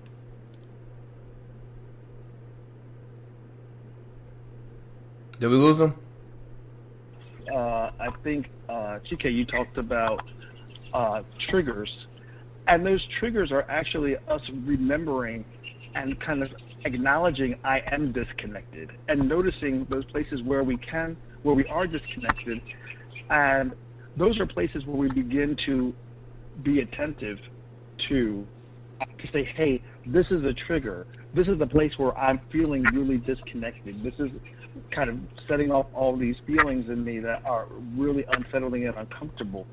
And you mentioned through counseling, um, you also, uh, I think, uh, uh, the other guest mentioned that through spiritual connection, which I think is really important. Mm-hmm. That uh, and and I think about uh, uh, some people kind of talk about spirituality, and they go straight to religion, which is more about traditions. But spirituality, uh, from a broader sense, is about a connection with something bigger than yourself, something greater than just me. Uh, and for, and I think it's a very important piece because uh, for uh, in a family where disconnection becomes the norm, or disconnection disconnection becomes the the uh, uh, a um, a way that our family expresses itself. It's not necessarily intentional, but it can definitely uh, be mimicked, and we can, and in some ways, uh, those uh, family members do begin to feed off of each other, and it becomes very uh, intense and very difficult. And uh, uh, Maja, you talked about shame, and and and and for families, families experience themselves often as a as a whole, and it becomes something that families become ashamed and afraid Mm, of. that makes sense. And I and I think it's so important that we're having this conversation because um, as we talk about depression and that sense of disconnection, healing, as uh, both the guests talked about, really begins with finding ways that that struggle to that they have uh, experienced that struggle to connect and then finding connection with a counselor with a spiritual leader Mhm. with a friend and it's that it is you know uh, i'm a therapist most therapists all we do is be there Right. Yeah. We're- yeah. we're- and and we allow people to have big feelings and big experiences and it's and we're allow them to be okay experiencing and moving through the healing process um and uh, for families, you know, I've worked, I, I, I, uh, uh, Maja could probably speak to this also, but working with families, uh, I've worked with families, and I'm, I know she's worked with families, where we work with the whole family because we understand that it is just as families share joy, they can also share pain. Right. And it's through healing, and, and it's through that healing experience, not just of one, but of the many, that they're Mhm. able to enjoy a, a, a a greater enhancement and even be able to help each other in different ways as they move through their own healing process. Most definitely, most definitely. Maja, let me let me ask you about um, anxiety uh, as relates to depression because I remember I had a friend. This was several years ago, and he could say he said I can feel my anxiety flaring up, and I didn't know what that meant. I thought he was just kind of just anxious in general. I didn't know it was like a physical thing. He could feel his breathing would change. He could feel it in his chest.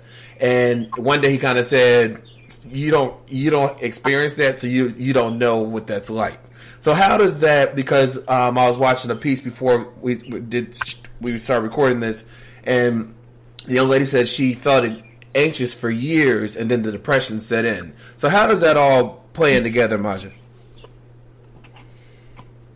Yes, that's- another good question. Anxiety and depression have a couple of parallels and overlaps, um, chemically and just symptomatically. Um, chemically, in that when anxiety and depression are being treated, uh, it's not uncommon um, to, to prescribe a medication that targets both the anxiety and depression that, Mm. that helps helps manage both of those symptoms. Um, that's that's pretty common to prescribe using that meth, using that approach. Okay. Um, and and symptomatically, um, anxiety and depression is similar in that. Like I'll start with anxiety. With anxiety, um, there's often a sense of being trapped and hopelessness, just like there is in depression. Mhm. Um, there's there's also there's also a sense of, of um, worry and panic, and whatever whatever is causing that worry and panic, um, if it persists long enough, it can it can feel like depression. It- Okay. It can it can can head into hopelessness and despair, and it may it may start off with trying repeatedly um, to, to fight these symptoms mm-hmm. and then feeling like you, you've lost that battle, that can also contribute to hopelessness and sort of not wanting, not wanting to give in, not wanting to give up. Mm-hmm. So, so, so those are a couple of ways that anxiety and depression are connected. Okay. Well, thank you for that. Let's take a quick break. We'll come back and we'll talk more about depression and then how what we can do during this pandemic to kind of ease all of our minds. Right back after this.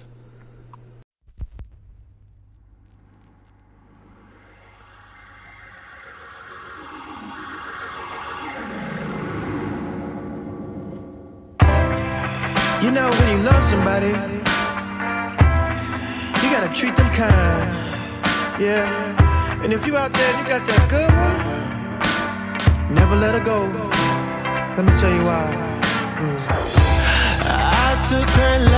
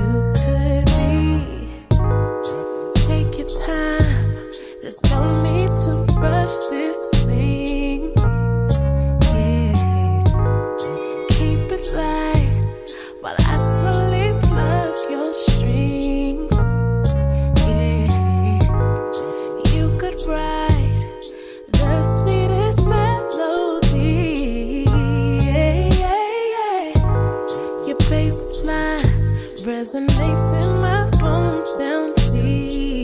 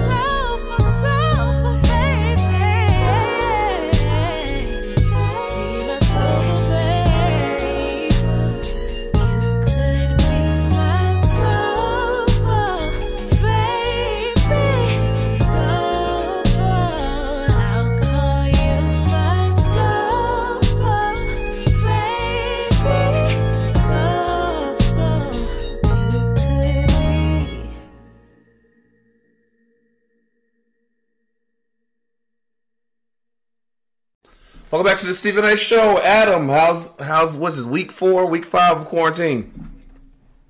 Uh, it's going well. You know, we're just trying to make the best of it. Um, yeah, yeah. You know, basically staying inside and going out just to. Uh, we went to the grocery store this weekend, and you know they have a. I don't know if they instituted it there yet, but they have a limit of 100 people in the grocery store at a time, and so we Mhm. actually had to wait about like 10 minutes, 10 minutes in line outside before we could go in, just because you know uh, everyone's trying to pick up stuff. So Yeah, that was uh, interesting. But besides that, you know, it was good. that's good. That's good. Okay, uh, I'll let you and Chike take away with uh, movie reviews. Uh, sure thing. So I actually decided to revisit a movie, and I know Chike, I think you've seen this uh, back when it came out in December, but this is Jumanji: The Next Level, and it's the sequel to Jumanji: Welcome to the Jungle, which of course is the sequel to Jumanji, but it follows the story of the main characters from Jumanji: Welcome to the Jungle three years later, and circumstances bring them all back in the world. But in this situation, it, things are switched around in the sense that the grandfather of the main character, Spencer, played by Danny DeVito, and his friend, played by Danny Glover, are now played by the roles of The Rock and Kevin Hart. So it's kind of a little bit of a twist of the normal movie that they did last time. But it's again, they're they're back in the world of Jumanji. There's another adventure to go on, and there's more missions to do. So overall, it's good. It's not as good as the last one, but this, I mean, I can see why it was popular. Uh, you know, it hits it really well. The Rock trying to be like an old Danny DeVito was okay. Kevin Hart did a great job playing uh, or doing the voice of like Danny Glover and pretending to be the old man um, amazingly, and it's good. So it is not on any free streaming service right now, but you can rent it uh, off Amazon for like six bucks. So if you're looking for something new, uh, or some if you haven't caught it in the theaters, then uh, I definitely recommend it. The other thing I saw, which is actually in addition to a docu series from earlier this year, and I don't know, Steven, if you've heard of Tiger King, but it's Yeah. Oh, yeah. another, an, yeah, it's another episode. So they got Joel McHale to go and do an interview. Of Heard it wasn't good. with yeah with characters from the uh, series. So it's of course hard to do because everyone is uh, doing interviews from home, so you're not going to get anything new or any kind of new footage per se. But it's cool to see how people's lives have changed after the documentary came out uh, and where they are now and what their thoughts on uh, the situation. So. For anyone who needs a little more of a Tiger King fix, uh, you can check that out on Netflix right now. I heard it was. and uh, that's it for me. I heard it wasn't that good, and I heard that that Carolyn woman that killed her husband, she wasn't in there. But I, I said, I know why she's not in there. She, she uh, that investigation opened back up. She trying to lay low. yeah, yeah, yeah. So you know, it's it's funny. I feel like her and the other guy that um that opened the zoo with uh the the guy with the baseball cap. Uh-huh. He wasn't in there too, and I feel like both of them either are under some kind of investigation Yeah. or there's some Mhm. reason they just they agreed not to be on the series. Yeah. Yeah, yeah, it's very interesting. Uh-huh. And you're right. It's not it's not as good as the show, but if you just needed a little more And like, I do. exposure or a fit, Yeah, I do. check it out. All right. Perfect. You'll like it then. Oh, okay. So the feature film that I uh, took in was it's called uh, The Other Lamb, and it was labeled as a horror slash drama, and to, so that's why I actually chose it to watch. Um, and it basically is about a cult, a female cult, uh, with a male lead. And to be quite honest and frank, I found the movie very confusing. So this man is leading this cult of women, and he's having sex with these women, and the women are procreating. So it's half his quote unquote wives and half his quote unquote daughters. And there's, of course, with a cult, and you have one male, he's basically sleeping with all the women. I, I that's what I basically got out of it. I didn't find the horror. I thought it was going to be about a coven of witches. Not. I thought that maybe he was mm-hmm. going to be like possibly Satan. Not. And I'm telling you all this because I really just didn't get the movie, and I'm not Hmm. recommending it, of course, because I'm telling you about it. It's just one of these things that every so often I come across one of these films when I get caught up in the marketing of it, and then the marketing doesn't measure up to what the meat of the film is about, and I was I felt misled because I didn't get any type of horror. Now maybe in the sense of if I was female and you know I was you know uh, pro female and about the the feminist movement, and here was this movie about this domineering man taking over women's minds and using and abusing them. Yes, it's a horror film because it was horrible in that regard. But you know, it's why I went to it looking for, um, you know, supernatural, maybe something Yeah. scary, something gory. It just wasn't that, um, and it was very artsy fartsy. Um, I had to, you know, like go back to the beginning and start over again just to make sure I didn't miss something because it confused me a little bit. Um, I, I, I guess I should screen this the way that I would screen other ones. Uh, the Other Lamb, starring Raffey Cassidy, Michael Hulsleman, you know him from Game of Thrones, and Denise Go. Um, beautiful cinematography, very beautiful cinematography. It's shot in the woods. They have these compounds that they live in in the woods, and they migrate and they move. Very beautiful looking. The people are beautiful looking. Very Nordic, very uh, European. I just couldn't follow the plot. I just, I, it just wasn't a good watch. It was difficult, and then it didn't deliver anything. So I'm going to say no. Hmm. Uh, Good to the next thing, the next film or movie, I should say, was Lifetime's take on the Clark sister biopic, Mm-hmm. which I thought was fabulous.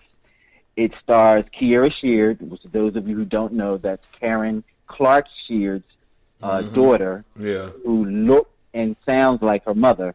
Uh, Aunjanue Ellis, who I think deserves some type of an award for this role because she acted her patootie off in this movie. Um, Raven Goodwin and Sheléa and Angela Birchett. All of the actresses that I mentioned sing in the film, and they all do a very good job. And I think that they did a very good job portraying the Clark sisters. there's some things that happen in the film that I didn't know about the Clark sisters, and I've been a fan, you know, probably since I was a teenager. Because once you hear the Clark sisters, you're not going to want to leave them alone. There's some singing behind sisters, and Karen Clark is, I believe that she is not of this earth because I've there, I just believe that there's nothing that she can do vocally when it comes to music. That's just how she is. Um, yeah, I definitely say check that out. And I'm gonna do a virtual clap and stand up and shout for Lifetime because you're finally getting it, Lifetime. You're doing it. These biopics should be like this, not like the other stuff that you were doing. And I know that the Salt and Pepper one is coming up. I'm only hoping and wishing and praying that that biopic is just as good as this Karen Clark one. So if I'm, I'm saying, keep saying Karen Clark, but I love her to death. The Clark sisters. Um, if you get an opportunity to catch it on the rerun, definitely catch the rebroadcast of it because it is moving. You'll laugh, you'll cry, and if you're a spiritual person, you may get the Holy Ghost a little bit. So definitely check that out. I highly recommend it. Um, as far as TV, definitely check out Westworld. Even though I'm having a little difficulty with it this season because of it's just like really, really intricate. Uh, the storyline is really intricate this season, and they they're jumping all over the place from different things, and I'm trying to put it together. So I'm finding myself having to watch each episode twice. Once I watch it the second time, and it's, it's the minute in, but it's really good based off of how they're building the entire story. Um, there's a new show uh, on HBO called Run. I just watched that. I need to rewatch it because it seemed to me a little all over the place. I didn't fully understand it. So sometimes with certain things, I have to watch them twice in order to really get into it. And um, of course, the documentary Atlanta's uh, missing children, the missing and murdered children. Definitely check that out. Um, and this is, um, I think I mentioned before. I mentioned it last week.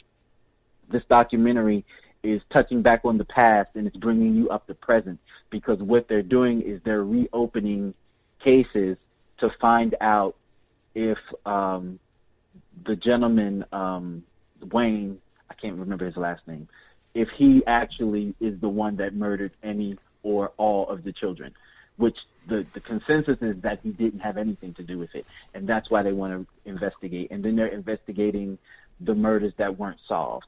And in case anyone didn't know, if you care to know, John Legend is producing this, so it's kind of a big deal. Hmm. And I know Steven's going to jump in on this. The last thing, season four of Issa Rae's yes. Insecure About season time. opener. Go ahead, season. Go ahead, talk about it. I loved it. I loved it. I said me want to move to LA back when we could go somewhere. but um, no, it was great. I just hate hate to see the two best friends. Like you know, every friendships. Like I guess all friendships have their little hiccup in the road, but I hope that they don't have this this dynamic duo ending. Um, it is good to see um, Molly with that with the Asian guy. I like I like them together. Andrew. Uh huh. Andrew, yeah. And it was really great to see Paula Jai Parker have a such a um, you know a role on there. You know, Who is a friend to the show? Friend of the been on our show. Paula Jai Parker has been on the show. Shout out to her. I sent her a tweet telling her, you know, it was good to see her you know, on the screen again. Yeah, she, Yeah. she was also um, on an episode of 911 um, with Angela Bassett. Uh, Okay, cool. Yeah, yeah. But um, but yeah, I mean, I just thought it was great, and I can't wait. I wish they would just drop all the episodes. We're gonna wait every week. you know what I mean? But yeah, Well, you know, I talk about this sometimes because I have a movie crew at work, and we talk about you know streaming shows and movies and you know all that stuff. Mhm. And I think that there is some kind of beauty to having to wait until the next week to catch an episode instead of absorbing it all. Because once you absorb it all, you're now anticipating for the next, and you have to wait a whole entire year Yeah. to get to the next. At least with the streaming, you know, with not necessarily streaming, but when it's episodic and you have to go week to week for it, it kind of savors a little bit. Yeah. Because you can't finish it all up in just one, you know, watching. right. Um, so back to you with Issa and Molly. You, for those of you who haven't watched it yet, um, sorry, spoiler alert. Right. Um,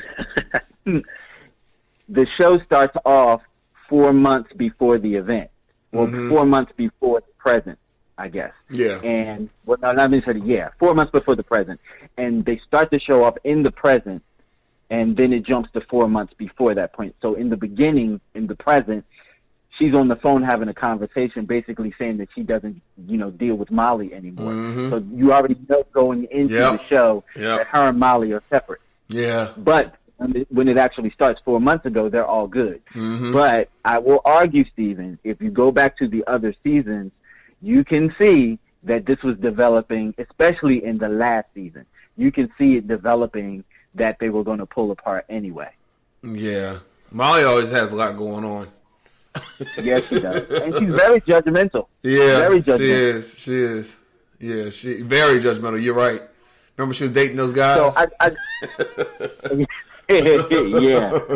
So I- so I saw that um, on Facebook, the Issa Rae uh, Facebook page reposted my post of tonight's um, promo for tonight's show, and they put it on their page. Oh. So in the event that maybe Issa Rae is listening, I just want to say thank you for Insecure. Thank you for creating Yes. and developing, producing, and putting this out because yes. this show is so important to the culture. Mhm. You don't.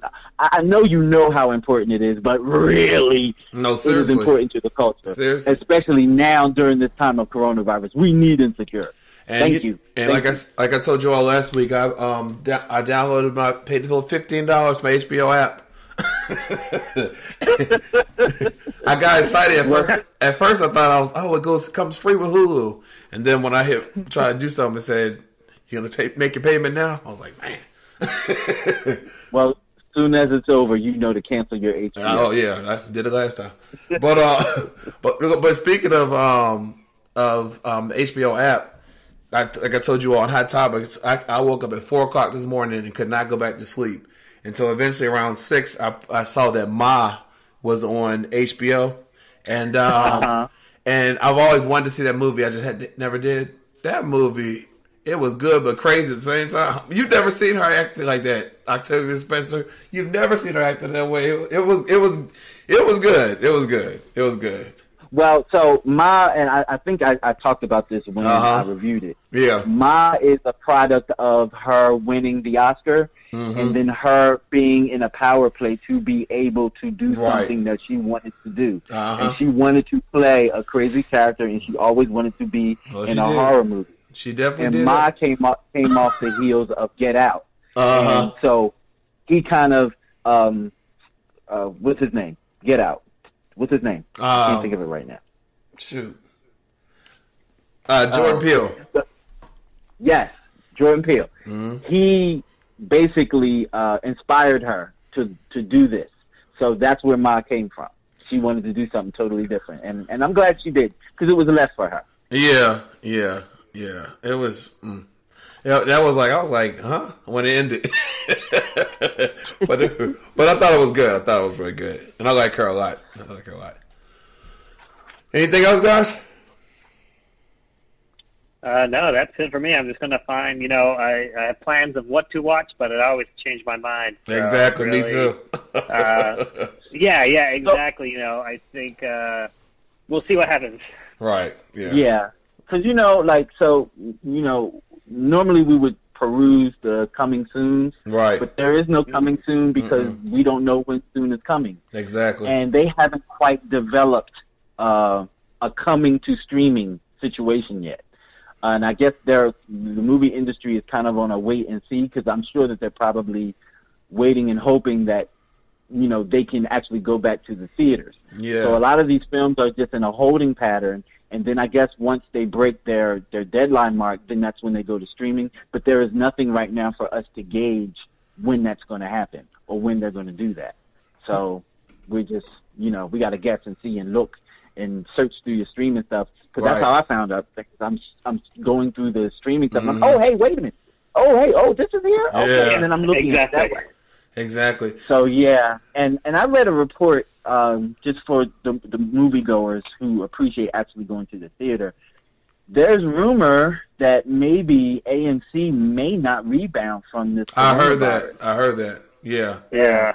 which Mhm. is sad. That would be uh, sad. because that's one of the biggest movie uh, houses that we have in the states, and if they don't recover, what's to say about the little guys? Right. Yeah. Yeah. Yeah, yeah. One thing to note though, AMC did just like buy a movie theater chain like a few months ago, and they they introduced their version of MoviePass. So they also had like a lot of big expenses uh, just a few months ago that um, puts them in a weird spot because I have a Landmark near me, and I think Landmark will do okay. Again, they're a smaller theater chain, uh, but yeah, Yeah. the big ones are definitely going to hurt the most. Mm-hmm. That's true. So I, I- this this has been a dream of mine, but I'm going to give it away for free. So AMC or if one of your competitors hear me, they can pick up on it. But I think that the movie theater experience has to change moving forward from here on. Um, just simply because we've all been sitting in our living rooms or we've been sitting in the comfort of our homes streaming movies that were supposed to be in the theaters and we've become very comfortable with being at home watching a new release movie on our very own television in the comfort of our home. So maybe the movie theater experience might want to gear to a home experience. Maybe developing a skybox with a personal bartender in it, almost like a sports event, but maybe just for movie watching so we can have like a little small watching party of our own, but in the theater. You might want to change that up a little bit and Oh, yeah. make it more I was make it thinking a more just wearing my VIP experience. yeah, you can do what you want because the room is yours. You mm. rented the room, Yeah. And you can watch the movie with your set party that way.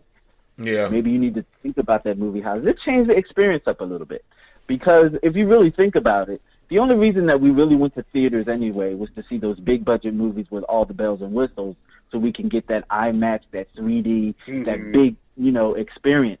We weren't going to go see the art house films in theaters anymore. We were waiting, or we would actually go to a little art house theater that charged you two, three dollars for a ticket to see a little artsy film. Movie theaters, Yeah. heed the warning. You won't survive if you come back the same. You're gonna have to change up. Uh, um, one thing I want to mention real quick. Um, the SNL came back for their first um, taping since all this happened, and but of course they did it all from their homes. And Tom Hanks, he um, Tom Hanks, he um, hosted it, and so everyone thought there was, you know, because he just got over the coronavirus, and they want to make sure he was okay because he was bald headed. But, but he said, "Please calm down, everybody. Just for a role. it's for a role." Yeah, I he said, I "I'm fine. that. I'm fine." but anyway, guys, thank you so much for letting us know what to spend our time watching and what not to, and uh, be safe and have a great week. All right, Thank you. All right, right back after this.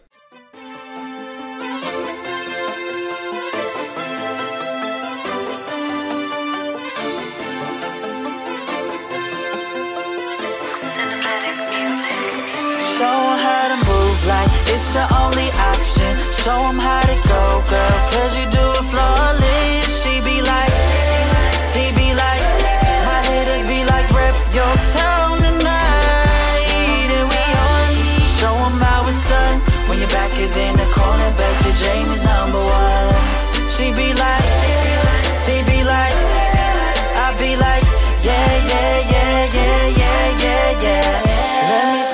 This anthem all proper. From poverty, I still finish college. Do it all, keep my face stay shining, cause your boy right here is a soldier. Back to the music, telling you why I do it. For my brother, his daughter, my G stick to it. I lost a few on the way, miss them all the time, but I keep the memories alive on the music. Thought I wouldn't do it, thought, thought I couldn't do it, thought I wouldn't do it, thought I couldn't do it, thought I wouldn't do it, and I couldn't do it. Watch me do it, do it, do it. Show how to move like it's your only option. Show how to go, girl, cause you do it flawless.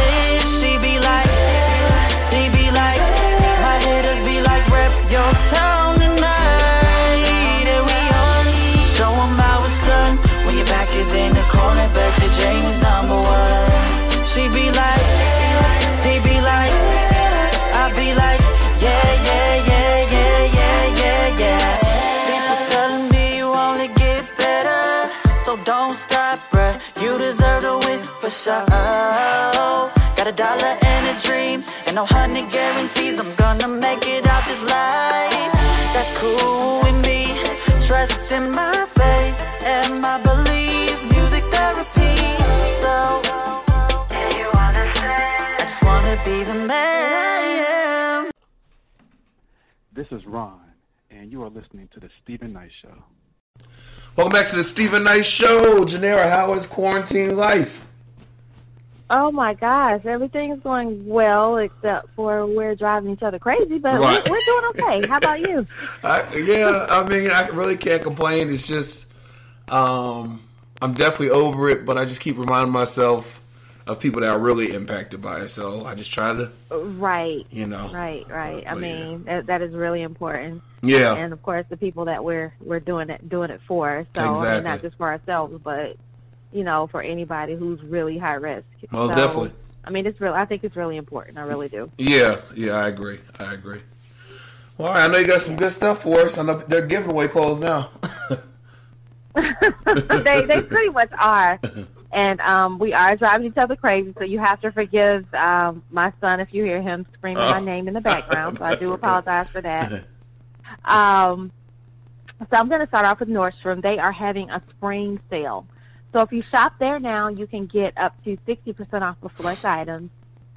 Um, Neiman Marcus Last Call, and that's their that's Neiman that's the outlet store for Neiman Marcus. They're having um, a flash sale today only, and they re- literally are giving things away. I mean, so if you shop there now, you can save up to 70% off, you know, on thousands of items.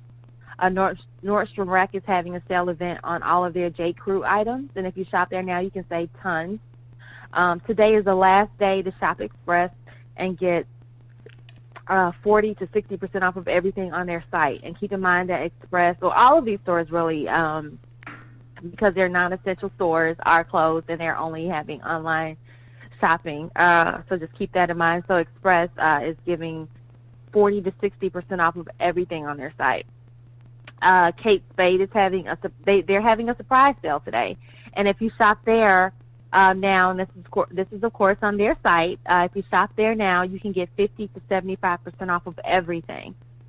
Um, Banana Republic is having a sale uh, on their site, and if you shop there now, you can get 50% off of everything, and that does include their clearance items. Plus, you can get an extra 10% off of everything. So once you take that 50% off, then you'll be able to take that 10% off and another 10% off. Then they're also giving you free shipping on orders of $25 or more. Wow. Uh, Bloomingdale's is having a denim sale. I know it's crazy. Uh, they're having a denim sale, and um, you can get tons of designer jeans it's for just ninety nine dollars. And this sale is going on now through the 29th of April. Uh, Old Navy is also having a sale on all of their clearance items. Their clearance items are just starting out at a dollar ninety nine. Plus, you can get Mm. fifty percent off of all of their swimwear. Plus, they're also giving you free shipping on all orders of twenty five dollars or more. Gap is also giving um, giving free shipping on orders of twenty five dollars or more. You'll notice the theme with Gap, Old Navy, and Banana Republic. Yeah. Uh, Gap is uh, giving forty percent off of everything um, online. Plus, you can get an extra ten percent off on top of that. So you just have to use code April at checkout in order to get those savings. And uh, last but not least, J. Crew is having a sale, and you can get 40% off of everything. And then they are also getting in on that whole little Gap, you know, Banana Republic thing where they're giving an additional 10% off of everything. So you have to use code Sunny at checkout. And I also want to let you guys know that, of course, because uh, because of COVID-19, shipping times are taking a little bit longer. Yeah. Um, so just just you have to be patient. Mother's Day is right around the corner, and we don't know, um, you know, what state Mhm. we're going to be in Mhm. around Mother's Day. So if you guys are looking for Mother's Day gifts, it's best to start shopping for them now. Yeah. Just to give you guys, you know, just to give a little bit of time to actually get the items and you know get them shipped to wherever you need them to be. Uh, simply because you know they're really focusing in. I mean, they're still shipping things Mhm. and they you know they're still you know uh you know FedEx, UPS, USPS, they're all still shipping things, but they're really trying to focus on those essential items. Yeah. So just keep that in mind and you guys have to really really be patient. So I would say even if you're not early shoppers, I would suggest that this be the time that you become an early shopper if you're trying to get something for Mother's Day. Most Just saying. definitely, most definitely. I know I've ordered some things online, and they they gave us the heads up, you know, that there was the you know shipping would take longer. But actually, some of the things have right. come have come earlier than they said. But uh, you know, I guess just to be on the safe side, they're putting it out there. Yeah, Yeah. They, and they they need to, and I I think that's really important that they are doing it because you'll see it all over the sites. Like you know, due to COVID nineteen, our response times, or you know, Mhm. phone calls, or our shipping times, you know, may be a little bit longer. I actually ordered some essential items from uh, Rite Aid, Mhm. and they told me it would take. I think I ordered those items on March twenty eighth. They Uh-huh. told me it would take anywhere between 14 and 28 days just to process the order. That's not even to ship it. That's just to process the order. So I, you know, I ordered them knowing that it was going to take a while for those items to get here. I was Mhm. just hoping that, you know, those would be one of the items that actually came, you know, Right. prior to them saying, you know, Right. but I, no, they were telling the truth. They they really meant what they said. Mm. I haven't gotten anything from, Wow. from Rite Aid, but you know, I know it's coming. Yeah. I mean, I know the order is still processing. It's just a matter of when I'm able to get it. So, Yeah, you know, I that's true. understand that now. Amazon, um, you know, I think it's really important. Amazon is also, you know, taking longer Yeah. to process things. However, the stuff that they have in the actual warehouse, Mhm. they are able to ship that out. Yeah, To yeah. um, and and people are actually getting those items earlier than expected if they have Mhm. it in their warehouse. If they Right. don't have it in the warehouse, then of course those items are taking longer. But if they have them in their warehouse, Amazon may tell you, "Oh, you'll get it on Tuesday, but it's really Sunday when you get it." So Mhm. you know that's you know if if, you're an Amazon Prime customer, so just Yeah, you know just trying to keep all that. that in mind. But Exactly. And they can. these times are crazy. It is crazy. It is crazy, but you know, and people don't spend all your money. Save some of it because we don't know what's going to happen. you you you have you have no idea what's going to happen. Yeah, I am Yeah. posting these sales, but I do not in any way think that Mhm. anyone should go out there and spend all of their money because we really check. don't know Exactly. like what times are you know we don't know what times are ahead. People getting Mhm. laid off. Yeah. Um, it's just you know it's just a really crazy time. I mean, I I, I was hopefully I'll never see a time like this again in my life. Right. Um, right. I have friends who've been affected by this, Yeah. uh, physically and financially. So Mhm. it's you know it's a, it's a really scary time. It really is. Scary time. It really is. Well, thank you so much. I know they can find us at jengendly.com. Uh, Janera, stay safe um, and enjoy your son and your husband. yeah. Oh my gosh. Yeah. This is this. We're gonna. We're starting week five, and so we're we're doing okay. But, yeah. Yeah. Whew, it's it's a challenge. I, I feel bad for these people who have multiple kids. Oh my God. They have to try to keep them entertained. I'm glad I only did this once. Right. well, listen, have, have a Love them to death. though. Right, I know. Uh, that's your boy. That's your boy. Well, have a great weekend. We'll talk again next Monday, okay? Okay. Thanks, Steven. All right. Right back after this.